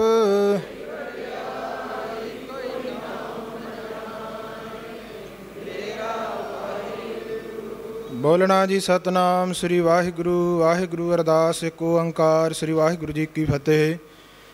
ਸ੍ਰੀ ਭਗਵਤੀ ਜੀ ਸਹਾਏ ਵਾਰ, ਸ੍ਰੀ ਭਗਵਤੀ ਜੀ ਕੀ ਪਾਤਸ਼ਾਹੀ ਦਸਵੀਂ, ਪ੍ਰਥਮ ਭਗਵਤੀ ਸਿਮਰ ਕੈ, ਗੁਰੂ ਨਾਨਕ ਲਈ ਧਿਆਏ, ਫਿਰ ਅੰਗਦ ਗੁਰ ਤੇ ਅਮਰਦਾਸ, ਰਾਮਦਾਸੇ ਹੋਈ ਸਹਾਏ। ਅਰਜਨ ਹਰ ਨੂੰ ਸਿਮਰੋ, ਸ੍ਰੀ ਹਰਿ ਰਾਏ, ਸ੍ਰੀ ਹਰਿ ਕ੍ਰਿਸ਼ਨ ਧਿਆਈਐ, ਜਿਸ ਡਿਠੇ ਸਭ ਦੁਖ ਜਾਏ, ਤੇਗ ਬਹਾਦਰ ਸਿਮਰਿਐ, ਘਰ ਨਾਉ ਨਿਦਾਵੇ ਧਾਏ। ਸਭ ਥਾਈ ਹੋਏ ਸਹਾਇ ਦਸਵੇਂ ਪਾਤਸ਼ਾਹ ਸਾਹਿਬ ਸ੍ਰੀ ਗੁਰੂ ਗੋਬਿੰਦ ਸਿੰਘ ਜੀ ਮਹਾਰਾਜ ਸਭ ਥਾਈ ਹੋਏ ਸਹਾਇ ਦਸਾਂ ਪਾਤਸ਼ਾਹੀਆਂ ਦੇ ਆਤਮਿਕ ਸਰੂਪ, ਧੰਨ ਧੰਨ ਸਤਿਗੁਰੂ ਸ੍ਰੀ ਗੁਰੂ ਗ੍ਰੰਥ ਸਾਹਿਬ ਜੀ ਦੇ ਪਾਠ, ਦਰਸ਼ਨ ਉਪਦੇਸ਼ ਜੀ ਕਾ ਧਿਆਨ ਧਰ ਕੇ ਬੋਲੋ ਜੀ। ਆਪ ਜੀ ਦੇ ਸਾਜੇ ਨਵਾਜੇ ਪੰਜ ਪਿਆਰੇ, ਚਾਰ ਸਹਿਬਜ਼ਾਦੇ 40 ਮੁਕਤਿਆਂ, ਹੱਠੀਆਂ ਜੱਪੀਆਂ ਤੱਪੀਆਂ, ਜਿਨ੍ਹਾਂ ਨਾਮ ਜਪਿਆ, ਵੰਡ ਕੇ ਛਕਿਆ। ਦੇਖ ਚਲਾਈ ਤੇਗ ਵਾਹੀ ਦੇਖ ਕੇ ਅਣਡਿਠ ਕੀਤਾ, ਤਿੰਨਾਂ ਪਿਆਰਿਆਂ ਸੁਚਿਆਰਿਆਂ ਦੀ ਪਾਵਨ ਪਵਿੱਤਰ ਕਮਾਈ ਦਾ ਧਿਆਨ ਧਰ ਕੇ ਬੋਲੋ ਜੀ। ਜਿਨ੍ਹਾਂ ਸਿੰਘਾਂ ਸਿੰਘਣੀਆਂ ਧਰਮੇ ਸੀ ਦਿੱਤੇ, ਬੰਦ ਬੰਦ ਕਟਾਏ, ਖੂਪਰੀਆਂ ਲੋਹਾਈਆਂ, ਚਰਖੜੀਆਂ ਤੇ ਚੜੇ ਤਨ ਆਰਿਆਂ ਨਾਲ ਚਰਵਾਏ। ਗੁਰਦੁਆਰਿਆਂ ਦੀ ਸੇਵਾ ਲਈ ਕੁਰਬਾਨੀਆਂ ਕੀਤੀਆਂ, ਧਰਮ ਨਹੀਂ ਹਾਰਿਆ, ਸਿੱਖੀ ਕੇਸਾਂ ਸਵਾਸਾਂ ਸੰਗ ਨਿਭਾਈ। ਤਿਨਾਂ ਪ੍ਰਾਤਨ ਅਤੇ ਵਰਤਮਾਨ ਸਮੇਂ ਦੇ ਸਮੂਹ ਸ਼ਹੀਦਾਂ ਦੀ ਪਾਵਨ ਕਮਾਈ ਦਾ ਧਿਆਨ ਧਰ ਕੇ ਬੋਲੋ ਜੀ। ਪੰਜਾਂ ਤਖਤਾਂ ਸਰਬੱਤ ਗੁਰਦੁਆਰਿਆਂ ਦਾ ਧਿਆਨ ਧਰ ਕੇ ਬੋਲੋ ਜੀ। ਪ੍ਰਥਮੇ ਸਰਬੱਤ ਖਾਲਸਾ ਜੀ ਕੀ ਅਰਦਾਸ ਹੈ ਜੀ। ਸਰਬੱਤ ਖਾਲਸਾ ਜੀ ਕੋ ਵਾਹਿਗੁਰੂ ਵਾਹਿਗੁਰੂ ਵਾਹਿਗੁਰੂ ਨਾਮ ਚਿਤ ਆਵੈ, ਚਿਤਾਵਨ ਕਾ ਸਦਕਾ, ਸਰਬ ਸੁਖ ਹੋਵੈ, ਜਹਾਂ ਜਹਾਂ ਖਾਲਸਾ ਜੀ ਸਾਹਿਬ। ਤਹਾਂ ਤਹਾਂ ਰਸਿਆ ਰਿਆਇਤ ਦੇਖ ਦੇਖ ਫਤਿਹ ਬਿਰਦ ਕੀ ਪੈਜ, ਪੰਥ ਕੀ ਜੀਤ, ਸ੍ਰੀ ਸਾਹਿਬ ਜੀ ਸਹਾਏ ਖਾਲਸਾ ਜੀ ਕੇ ਬੋਲ ਵਾਲੇ, ਬੋਲੋ ਜੀ। ਬਖਸ਼ੋ ਜੀ ਸਿੱਖਾਂ ਨੂੰ ਸਿੱਖੀ ਦਾਨ, ਕੇਸ ਦਾਨ, ਰਹਿਤ ਦਾਨ, ਵਿਵੇਕ ਦਾਨ, ਵਿਸਾਹ ਦਾਨ, ਭਰੋਸਾ ਦਾਨ। ਦਾਨਾ ਸਰਦਾਨ ਨਾਮਦਾਨ ਸ੍ਰੀ ਅੰਮ੍ਰਿਤਸਰ ਸਾਹਿਬ ਜੀ ਦੇ ਦਰਸ਼ਨ ਇਸ਼ਨਾਨ, ਚੌਂਕੀਆਂ, ਝੰਡੇ ਬੁੰਗੇ, ਜੁਗੋ ਜੁਗਾ ਟਲ, ਧਰਮ ਕਾ ਜੈਕਾਰ, ਖਾਲਸਾ ਜੀ ਬੋਲੋ ਜੀ। ਆਪ ਜੀ ਦੇ ਸਿੱਖਾਂ ਦਾ ਮਨ ਨੀਵਾ, ਮਤ ਉੱਚੀ, ਮਤ ਪਤ ਦੇ ਰਾਖੀ ਆਪ ਅਕਾਲ ਪੁਰਖ ਵਾਹਿਗੁਰੂ ਜੀ। ਹੇ ਅਕਾਲ ਪੁਰਖ, ਆਪਣੇ ਪੰਥ ਦੇ ਸਦਾ ਸਹਾਈ ਦਾ ਤਾਰ ਜੀਓ, ਸਮੂਹ ਗੁਰਦੁਆਰਿਆਂ, ਗੁਰਧਾਮਾਂ ਦੇ। ਖੁੱਲੇ ਦਰਸ਼ਨ ਦਿਦਾਰ ਅਤੇ ਸੇਵਾ ਸੰਭਾਲ ਦਾ ਦਾਨ, ਪਿਆਰੇ ਖਾਲਸਾ ਜੀ ਨੂੰ ਬਖਸ਼ੋ, ਹੀ ਨਿਮਾਣਿਆਂ ਦੇ ਮਾਨ ਸਤਿਗੁਰੂ। ਨੇਤਾਣਿਆਂ ਦੇ ਤਾਣ ਸਤਿਗੁਰੂ ਨਿਓਟਿਆਂ ਦੀ ਓਟ, ਨਿਆਸਰਿਆਂ ਦੇ ਆਸਰੇ ਧੰਨ ਧੰਨ ਸਤਿਗੁਰੂ, ਸ੍ਰੀ ਗੁਰੂ ਨਾਨਕ ਦੇਵ ਜੀ ਮਹਾਰਾਜ। ਧੰਨ ਧੰਨ ਸ੍ਰੀ ਗੁਰੂ ਗੋਬਿੰਦ ਸਿੰਘ ਜੀ ਮਹਾਰਾਜ, ਧੰਨ ਧੰਨ ਸਤਿਗੁਰੂ ਸਾਹਿਬ ਸ੍ਰੀ ਗੁਰੂ ਗ੍ਰੰਥ ਸਾਹਿਬ ਜੀ ਮਹਾਰਾਜ, ਆਪ ਜੀ ਦੇ ਪਾਵਨ ਪਿੱਤਰ ਚਰਨ ਕਮਲਾਂ ਪਾਸ। ਅਰਦਾਸ ਬੇਨਤੀ ਹੈ ਸਤਿਗੁਰੂ ਜੀ। ਪੰਜ ਪਿਆਲੇ, ਪੰਜ ਪੀਰ, ਛਠਮ ਪੀਰ ਬੈਠਾ ਗੁਰ ਭਾਰੀ, ਅਰਜਨ ਕਾਇਆ ਪਲਟ ਕੈ ਮੂਰਤ ਹਰਗੋਬਿੰਦ ਸਵਾਰੀ। ਚੱਲੀ ਪੀੜੀ ਸੋਢੀਆਂ, ਰੂਪ ਦਿਖਾਵਣ ਵਾਰੋ ਵਾਰੀ, ਦਲ ਭੰਜਨ ਗੁਰ ਸੂਰਮਾ ਬੜ ਜੋਦਾ ਬਹੁ ਪਰ ਉਪਕਾਰੀ। ਧੰਨ ਧੰਨ ਮੀਰੀ ਪੀਰੀ ਦੇ ਮਾਲਕ ਸਤਿਗੁਰੂ। ਧੰਨ ਸਤਿਗੁਰੂ ਸਾਹਿਬ, ਸ੍ਰੀ ਗੁਰੂ ਹਰਗੋਬਿੰਦ ਸਾਹਿਬ ਮਹਾਰਾਜ, ਸੱਚੇ ਪਾਤਸ਼ਾਹ ਜੀ ਅੱਜ ਆਪ ਜੀ ਦਾ ਪਾਵਨ ਪਿੱਤਰ ਗੁਰਤਾ ਗੱਦੀ ਗੁਰਪੁਰਬ। ਸਮੂਹ ਸੰਗਤਾਂ ਬੜੀ ਸ਼ਰਧਾ, ਪ੍ਰੇਮ ਭਾਵਨਾ ਦੇ ਨਾਲ ਮਨਾ ਰਹੀਆਂ ਹਨ। ਸਤਿਗੁਰੂ ਜੀ, ਆਪ ਜੀ ਦੇ ਪਾਵਨ ਪਿੱਤਰ ਗੁਰਤਾ ਗੱਦੀ ਗੁਰਪੁਰਬ ਨੂੰ ਮੁੱਖ ਰੱਖਦੇ ਰੱਖਦਿਆਂ ਅਤੇ ਸਤਿਗੁਰੂ ਜੀ, ਧੰਨ ਧੰਨ ਧੰਨ ਜਨ ਆਇਆ। ਜਿਸ ਪ੍ਰਸਾਦ ਸਭ ਜਗਤ ਰਾਇਆ, ਜਨ ਆਨ ਕਾ ਇਹ ਸਵਾਉ ਜਨ ਕੈ ਸੰਗ ਚਿਤ ਆਵੈ ਨਾਉ। ਤਿੰਨ ਧਨ ਜਣੇ ਦੀ ਮਾਉ ਆਏ ਸਫਲ ਸੇ ਧੰਨ ਧੰਨ ਮਹਾਪੁਰਸ਼, ਮਹਾਪੁਰਖ ਬਾਬਾ ਜਰਨੈਲ ਸਿੰਘ ਜੀ ਖਾਲਸਾ ਪਿੰਡਰਾਂ ਵਾਲਿਆਂ ਦੇ ਪਾਵਨ ਪਿੱਤਰ ਜਨਮ ਦਿਹਾੜੇ ਨੂੰ ਮੁੱਖ ਰੱਖਦਿਆਂ ਅਤੇ ਮਹਾਂਪੁਰਖਾਂ ਦੀ ਅਗਵਾਈ ਹੇਠ ਸੱਚਖੰਡ ਸ੍ਰੀ ਹਰਮੰਦਰ ਸਾਹਿਬ, ਸ੍ਰੀ ਅਕਾਲ ਤਖਤ ਸਾਹਿਬ ਵਿਖੇ ਸਮੂਹ ਸ਼ਹੀਦਾਂ ਦੀ ਪਿੱਤਰ ਯਾਦ ਨੂੰ ਮਨਾਉਂਦਿਆਂ ਦਮਦਮੀ ਟਕਸਾਲ ਦੇ ਮੁੱਖ ਕੇਂਦਰੀ ਸਥਾਨ ਗੁਰਦੁਆਰਾ ਗੁਰਦਰਸ਼ਨ ਪ੍ਰਕਾਸ਼ ਮਹਿਤਾ ਵਿਖੇ ਅੱਜ ਦੂਜੇ ਦਿਨ ਦੇ ਦੀਵਾਨ ਆਪ ਜੀ ਦੀ ਪਾਵਨ ਪਿੱਤਰ ਹਜ਼ੂਰੀ ਅੰਦਰ ਸਜੇ ਹਨ ਮਹਾਰਾਜ। ਸਜੇ ਹੋਏ ਦੀਵਾਨਾਂ ਵਿੱਚ ਆਪ ਜੀ ਦੀ ਪਵਿੱਤਰ ਬਾਣੀ ਦੇ ਕੀਰਤਨ ਉਪਰੰਤ ਮਹਾਂਪੁਰਖਾਂ ਮਲਾਉ ਗੁਰ ਗੁਰ ਦੀ ਕਥਾ ਵਿਚਾਰ ਹੋਈ ਹੈ ਸਤਿਗੁਰੂ ਜੀਓ। ਕਥਾ ਵਿਚਾਰ ਕਰਦਿਆਂ, ਗੁਰਬਾਣੀ ਕੀਰਤਨ ਕਰਦਿਆਂ ਹੋਈਆਂ ਅਨੇਕਾਂ ਪ੍ਰਕਾਰ ਦੀਆਂ ਭੁੱਲਾਂ ਆਪ ਜੀ ਨੇ ਕਿਰਪਾ ਕਰਕੇ ਬਖਸ਼ ਦੇਣੀਆਂ, ਅਗਾਹ ਵਾਸਤੇ ਸਮਤ ਬਖਸ਼ਿਸ਼ ਕਰਨੀ ਮਹਾਰਾਜ। ਗੁਰਬਾਣੀ ਕਥਾ ਕੀਰਤਨ ਦਾ ਭਾਵ ਦਾਰਾਈਆਂ ਸੰਗਤਾਂ ਦੇ ਹਿਰਦਿਆਂ ਤੇ ਵਸਾਓ, ਆਈ ਹੋਈ ਸੰਗਤ ਦੀ ਹਾਜ਼ਰੀ, ਤਿਲਫਲ ਭੇਟਾ ਆਪਣੇ ਦਰ ਤੇ ਪ੍ਰਵਾਨ ਕਰ ਲੈਣੀ ਮਹਾਰਾਜ। ਦਰੋ ਕਰੋ ਗੁਰਸਿੱਖੀ ਨਾਮਦਾਨ ਦੀਆਂ ਦਾਤਾਂ ਬਖਸ਼ਿਸ਼ ਕਰਕੇ ਨਿਹਾਲ ਕਿਰਤਾਰਥ ਕਰਨਾ ਆਪ ਜੀ ਨੇ ਦਇਆ ਕਰਨੀ ਰਹਿੰਦੇ ਸ਼ਹੀਦੀ ਸਮਾਗਮ ਵੀ। ਆਪਣੀ ਦਇਆ ਦ੍ਰਿਸ਼ਟੀ ਅੰਦਰ ਆਪ ਨਿਰਵਿਘਨ ਸੰਪੂਰਨ ਕਰਵਾ ਲੈਣੇ ਮਹਾਰਾਜ ਸਤਿਗੁਰੂ ਦਇਆ ਕਰਨੀ। ਆਪ ਜੀ ਨੇ ਦਮਦਮੀ ਟਕਸਾਲ ਦੀ, ਦਮਦਮੀ ਟਕਸਾਲ ਦੇ ਮੁਖੀ ਸ੍ਰੀ ਮਾਨ ਸੰਤ ਗਿਆਨੀ ਹਰਨਾਮ ਸਿੰਘ ਜੀ ਖਾਲਸਾ ਪਿੰਡਰਾਂ ਵਾਲਿਆਂ ਦੀ ਚੜ੍ਹਦੀ ਕਲਾ ਕਰਨੀ। ਜਥੇਬੰਦੀ ਵੱਲੋਂ ਚੱਲ ਰਹੀਆਂ ਸਮੁੱਚੀਆਂ ਸੇਵਾਵਾਂ ਆਪ ਜੀ ਨੇ ਆਪਣੀ ਦਇਆ ਦ੍ਰਿਸ਼ਟੀ ਅੰਦਰ, ਦਇਆ ਦ੍ਰਿਸ਼ਟੀ ਅੰਦਰ ਆਪ ਲੈ ਲੈਣੀਆਂ। ਮਹਾਰਾਜ ਕਿਰਪਾ ਕਰਨੀ, ਚੜ੍ਹਦੀ ਕਲਾ ਬਖਸ਼ਿਸ਼ ਕਰਨੀ ਸਤਿਗੁਰੂ। ਸਜੇ ਹੋਏ ਦੀਵਾਨਾਂ ਨੂੰ ਮੁੱਖ ਰੱਖਦਿਆਂ ਆਪ ਜੀ ਦੀ ਪਾਵਨ ਪਿੱਤਰ ਹਜ਼ੂਰੀ ਅੰਦਰ, ਪਿੱਤਰ ਕੜਾ ਦੀ ਦੇਖ ਸਜਾ ਕੇ ਹਾਜ਼ਰ ਹੈ ਸਤਿਗੁਰੂ ਜੀ। ਦੇਖ ਤਿਆਰ ਕਰਦਿਆਂ ਹਜੂਰ ਗੁਰਬਾਣੀ ਪੜਦਿਆਂ ਹੋਈਆਂ ਭੁੱਲਾਂ ਦੀ ਆਪ ਜੀ ਨੇ ਕਿਰਪਾ ਕਰਕੇ ਮਾਫੀ ਬਖਸ਼ ਦੇਣੀ ਆ ਗਾਂ ਵਾਸਤੇ ਸਮਤ ਬਖਸ਼ਿਸ਼ ਕਰਨੀ ਆਪ ਜੀ ਕਰੋ ਕਿਰਪਾ। ਕਰੀ ਪਾਕ ਸਾਲ ਸੋਚ ਪਵਿੱਤਰਾ, ਹੁਣ ਲਾਭ ਭੋਗ ਹਰਾਏ, ਆਪ ਜੀ ਕਾ ਭੋਗ ਲੱਗਿਆ, ਪ੍ਰਸ਼ਾਦ ਸੰਗਤ ਵਿੱਚ ਵਰਤਾਉਣ ਦੀ ਆਪ ਆਗਿਆ ਬਖਸ਼ਿਸ਼ ਕਰੋ। ਜੋ ਜੀ ਸਕੇ ਸੋ ਆਪ ਜੀ ਦਾ ਪਵਿੱਤਰ ਨਾਮ, ਸਤਨਾਮ ਸ੍ਰੀ ਵਾਹਿਗੁਰੂ ਜਪੇ ਸਤਿਗੁਰੂ ਜੀ, ਅੱਜ ਦੀ ਦੇਖ ਦੀ ਸੇਵਾ। ਗੁਰਮੁਖ ਪਿਆਰੇ ਭਾਈ ਮਨਧੀਰ ਸਿੰਘ ਜੀ ਢਿੱਲੋਂ, ਭਾਈ ਸਰਬਜੀਤ ਸਿੰਘ ਜੀ ਢਿੱਲੋਂ, ਕੈਨੇਡਾ ਨਿਵਾਸੀ, ਭਾਈ ਗੁਰਵਿੰਦਰ ਸਿੰਘ ਨਿਊਜ਼ੀਲੈਂਡ ਨਿਵਾਸੀ, ਭਾਈ ਮੇਜਰ ਸਿੰਘ ਜੀ ਅਮਰੀਕਾ ਨਿਵਾਸੀ, ਭਾਈ ਪ੍ਰਵਿੰਦਰ ਸਿੰਘ ਜੀ ਅਮਰੀਕਾ ਨਿਵਾਸੀ, ਭਾਈ ਹਰਪ੍ਰੀਤ ਸਿੰਘ ਜੀ ਨਿਊਜ਼ੀਲੈਂਡ ਵਾਲੇ, ਭਾਈ ਮੇਜਰ ਸਿੰਘ ਜੀ ਨਿਊਜ਼ੀਲੈਂਡ ਵਾਲੇ, ਭਾਈ ਕੁਲਵੰਤ ਸਿੰਘ ਜੀ, ਭਾਈ ਮੁਖਤਿਆਰ ਸਿੰਘ, ਮਾਸਟਰ ਜਸਵੰਤ ਸਿੰਘ ਜੀ, ਭਾਈ ਸਰੂਪ ਸਿੰਘ, ਭਾਈ ਗੁਰਜੰਟ ਸਿੰਘ ਜੀ, ਭਾਈ ਕਸ਼ਮੀਰ ਸਿੰਘ।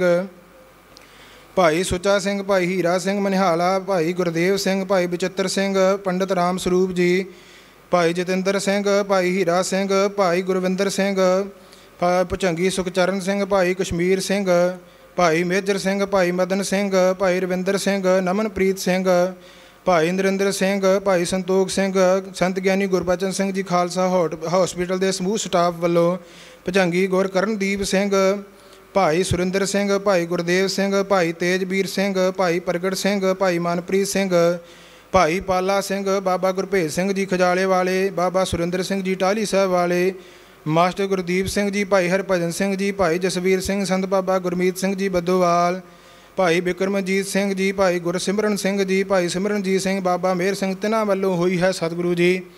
ਸੇਵਾ ਆਪਣੇ ਦਰ ਤੇ ਪ੍ਰਵਾਨ ਕਰਨੀ ਦਰੋਂ ਘਰੋਂ ਗੁਰਸਿੱਖੀ ਨਾਮਦਾਨ ਆਪਣੇ ਚਰਨਾਂ ਦਾ ਪਿਆਰ ਬਖਸ਼ਿਸ਼ ਕਰਕੇ ਨਿਹਾਲ ਕਿਰਤਾਰਥ ਕਰਨਾ ਮਹਾਰਾਜ, ਆਪ ਦਇਆ ਕਰੋ। ਗੁਰਬਾਣੀ ਦੇ ਚੱਲ ਰਹੇ ਪ੍ਰਵਾਹਾਂ ਵਿੱਚੋਂ ਪਾਵਨ ਪਿੱਤਰ ਹੁਕਮਨਾਮਾ ਬਖਸ਼ਿਸ਼ ਕਰਕੇ ਨਿਹਾਲ ਕਿਰਤਾਰਥ ਕਰੋ। ਆਪ ਜੀ ਦੇ ਹੁਕਮ ਤੇ ਚੱਲਣ ਦੀ ਬਾਲ ਬੁੱਧੀ ਸਮਰੱਥਾ ਬਖਸ਼ਿਸ਼ ਕਰੋ। ਸਹੀ ਗੁਰਮੁਖ ਪਿਆਰੇ ਮਿਲੋ, ਜਿੰਨਾ ਮਿਲਿਆ ਆਪ ਜੀ ਦਾ ਪਾਵਨ ਪਿੱਤਰ ਨਾਮ ਚਿਤੇ ਆਵੇ। ਨਾਨਕ ਨਾਮ ਚੜ੍ਹਦੀ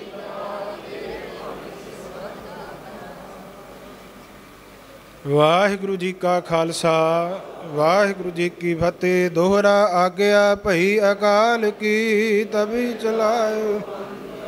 ਸਭ ਸਿੱਖਨ ਕੋ ਹੁਕਮ ਹੈ, ਗੁਰੂ ਮਾਨਿਓ ਗ੍ਰੰਥ, ਗੁਰੂ ਗ੍ਰੰਥ ਜੀ ਮਾਨਿਓ।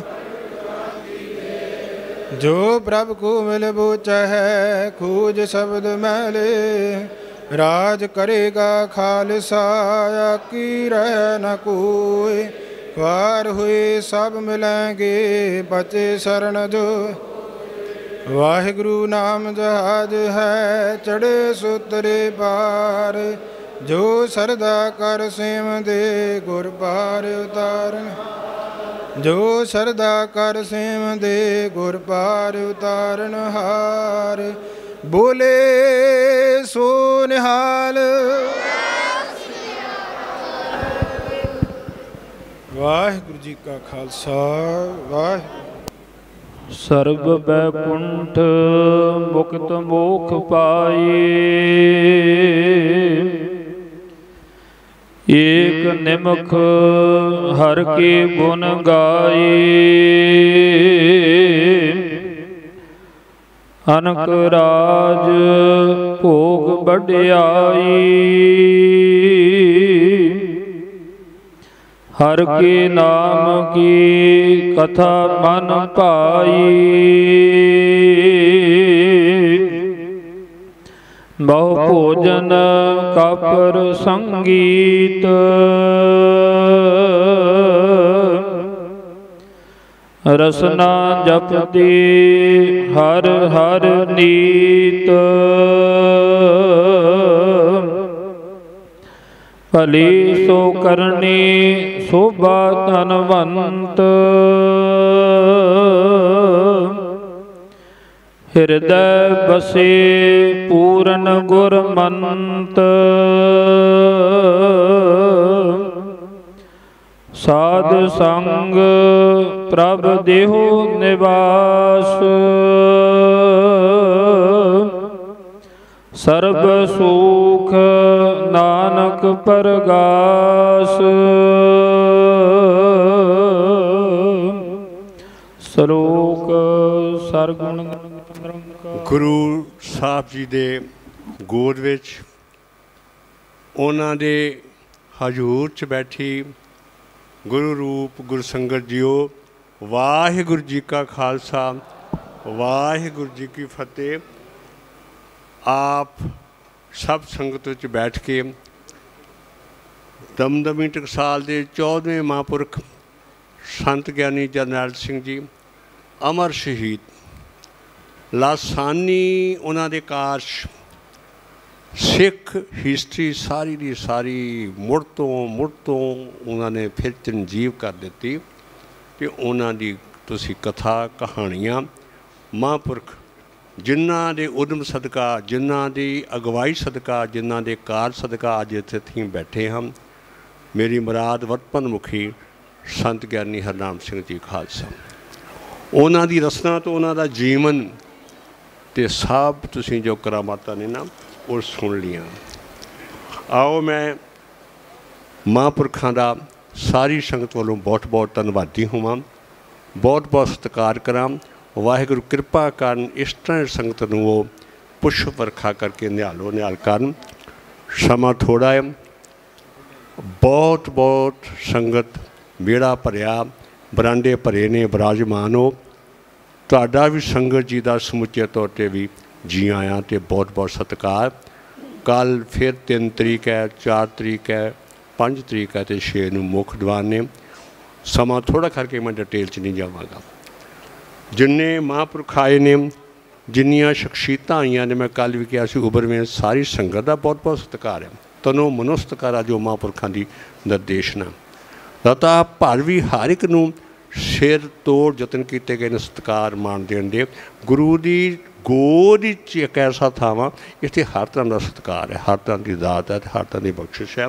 ਫਿਰ ਵੀ ਮੈਂ ਆਪਣੀ ਡਿਊਟੀ ਪੂਰੀ ਕਰਦਾ, ਸਤਿਕਾਰ ਦਵਾਂਗਾ ਤਨੋ ਮਨੋ, ਸੰਗਤ ਵੱਲੋਂ ਬਹੁਤ ਬਹੁਤ ਐਡਵੋਕੇਟ ਭਗਵੰਤ ਸਿੰਘ ਜੀ ਸ਼ਾਲਕਾ ਜਨਰਲ ਸਕੱਤਰ ਸ਼੍ਰੋਮਣੀ ਗੁਰਦੁਆਰਾ ਪ੍ਰਬੰਧ ਕਮੇਟੀ, ਸੰਤ ਬਾਬਾ ਗੁਰਪ੍ਰੀਤ ਸਿੰਘ ਜੀ ਖੁਜਾਲਾ, ਬੁਲਾਰੇ ਸੰਤ ਸਮਾਜ ਸੰਤ ਬਾਬਾ ਸੁਰਿੰਦਰ ਸਿੰਘ ਜੀ ਟਾਹਲੀ ਸਾਹਿਬ, ਸੰਤ ਬਾਬਾ ਗੁਰਦੇਵ ਸਿੰਘ ਜੀ ਤਰਸਿੱਕਾ, ਸੰਤ ਬਾਬਾ ਗੁਰਮੀਤ ਸਿੰਘ ਜੀ ਬੱਦੋਵਾਲ, ਸੰਤ ਬਾਬਾ ਸੁਰਿੰਦਰ ਸਿੰਘ ਜੀ ਅਚਲ ਸਾਹਿਬ, ਜੋ ਲਗਾਤਾਰ ਪਕੌੜਿਆਂ ਦਾ ਲੰਗਰ, ਚਾਹ ਦਾ ਲੰਗਰ ਨਿਰੰਤਰ ਬਰਸਾ ਰਹੇ ਨੇ, ਗੁਰੂ ਸਾਹਿਬ ਦੀ ਕਿਰਪਾ ਉਹ ਤੋਂ ਦਾਤਾਂ ਪ੍ਰਾਪਤ ਕਰਕੇ।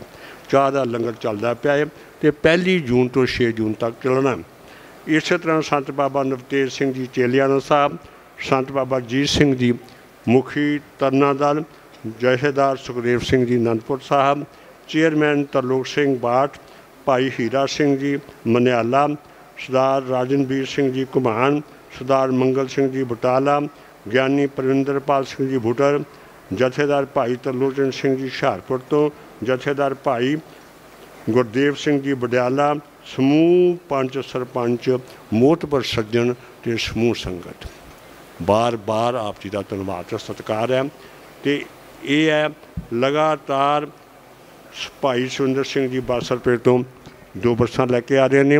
ਮਹਿਤੇ ਦੀ ਸੰਗਤ ਲੰਗਰ ਵਰਤਾਉਣ ਦੀ ਸੇਵਾ ਜੁਟੀ ਹੋਈ ਹੈ ਤੇ ਜਿੰਨਾ ਚੈਨਲਾਂ ਤੇ ਲਾਈਵ ਪ੍ਰੋਗਰਾਮ ਆ ਰਿਹਾ ਹੈ, ਮੈਂ ਉਹ ਵੀ ਮੈਂਸ਼ਨ ਕਰ ਦਵਾਂ। ਉਹ ਹਨ Damdami Taksal TV YouTube channel, Sikh channel Facebook YouTube channel KTV Facebook ਤੇ ਜੂ ਲਾਈਕ ਚੈਨਲ ਇਹ ਨੋਟ ਕਰ ਲਿਆ ਜਾਵੇ। ਲਾਈਵ ਚੱਲਦਾ ਪਿਆ ਹੈ।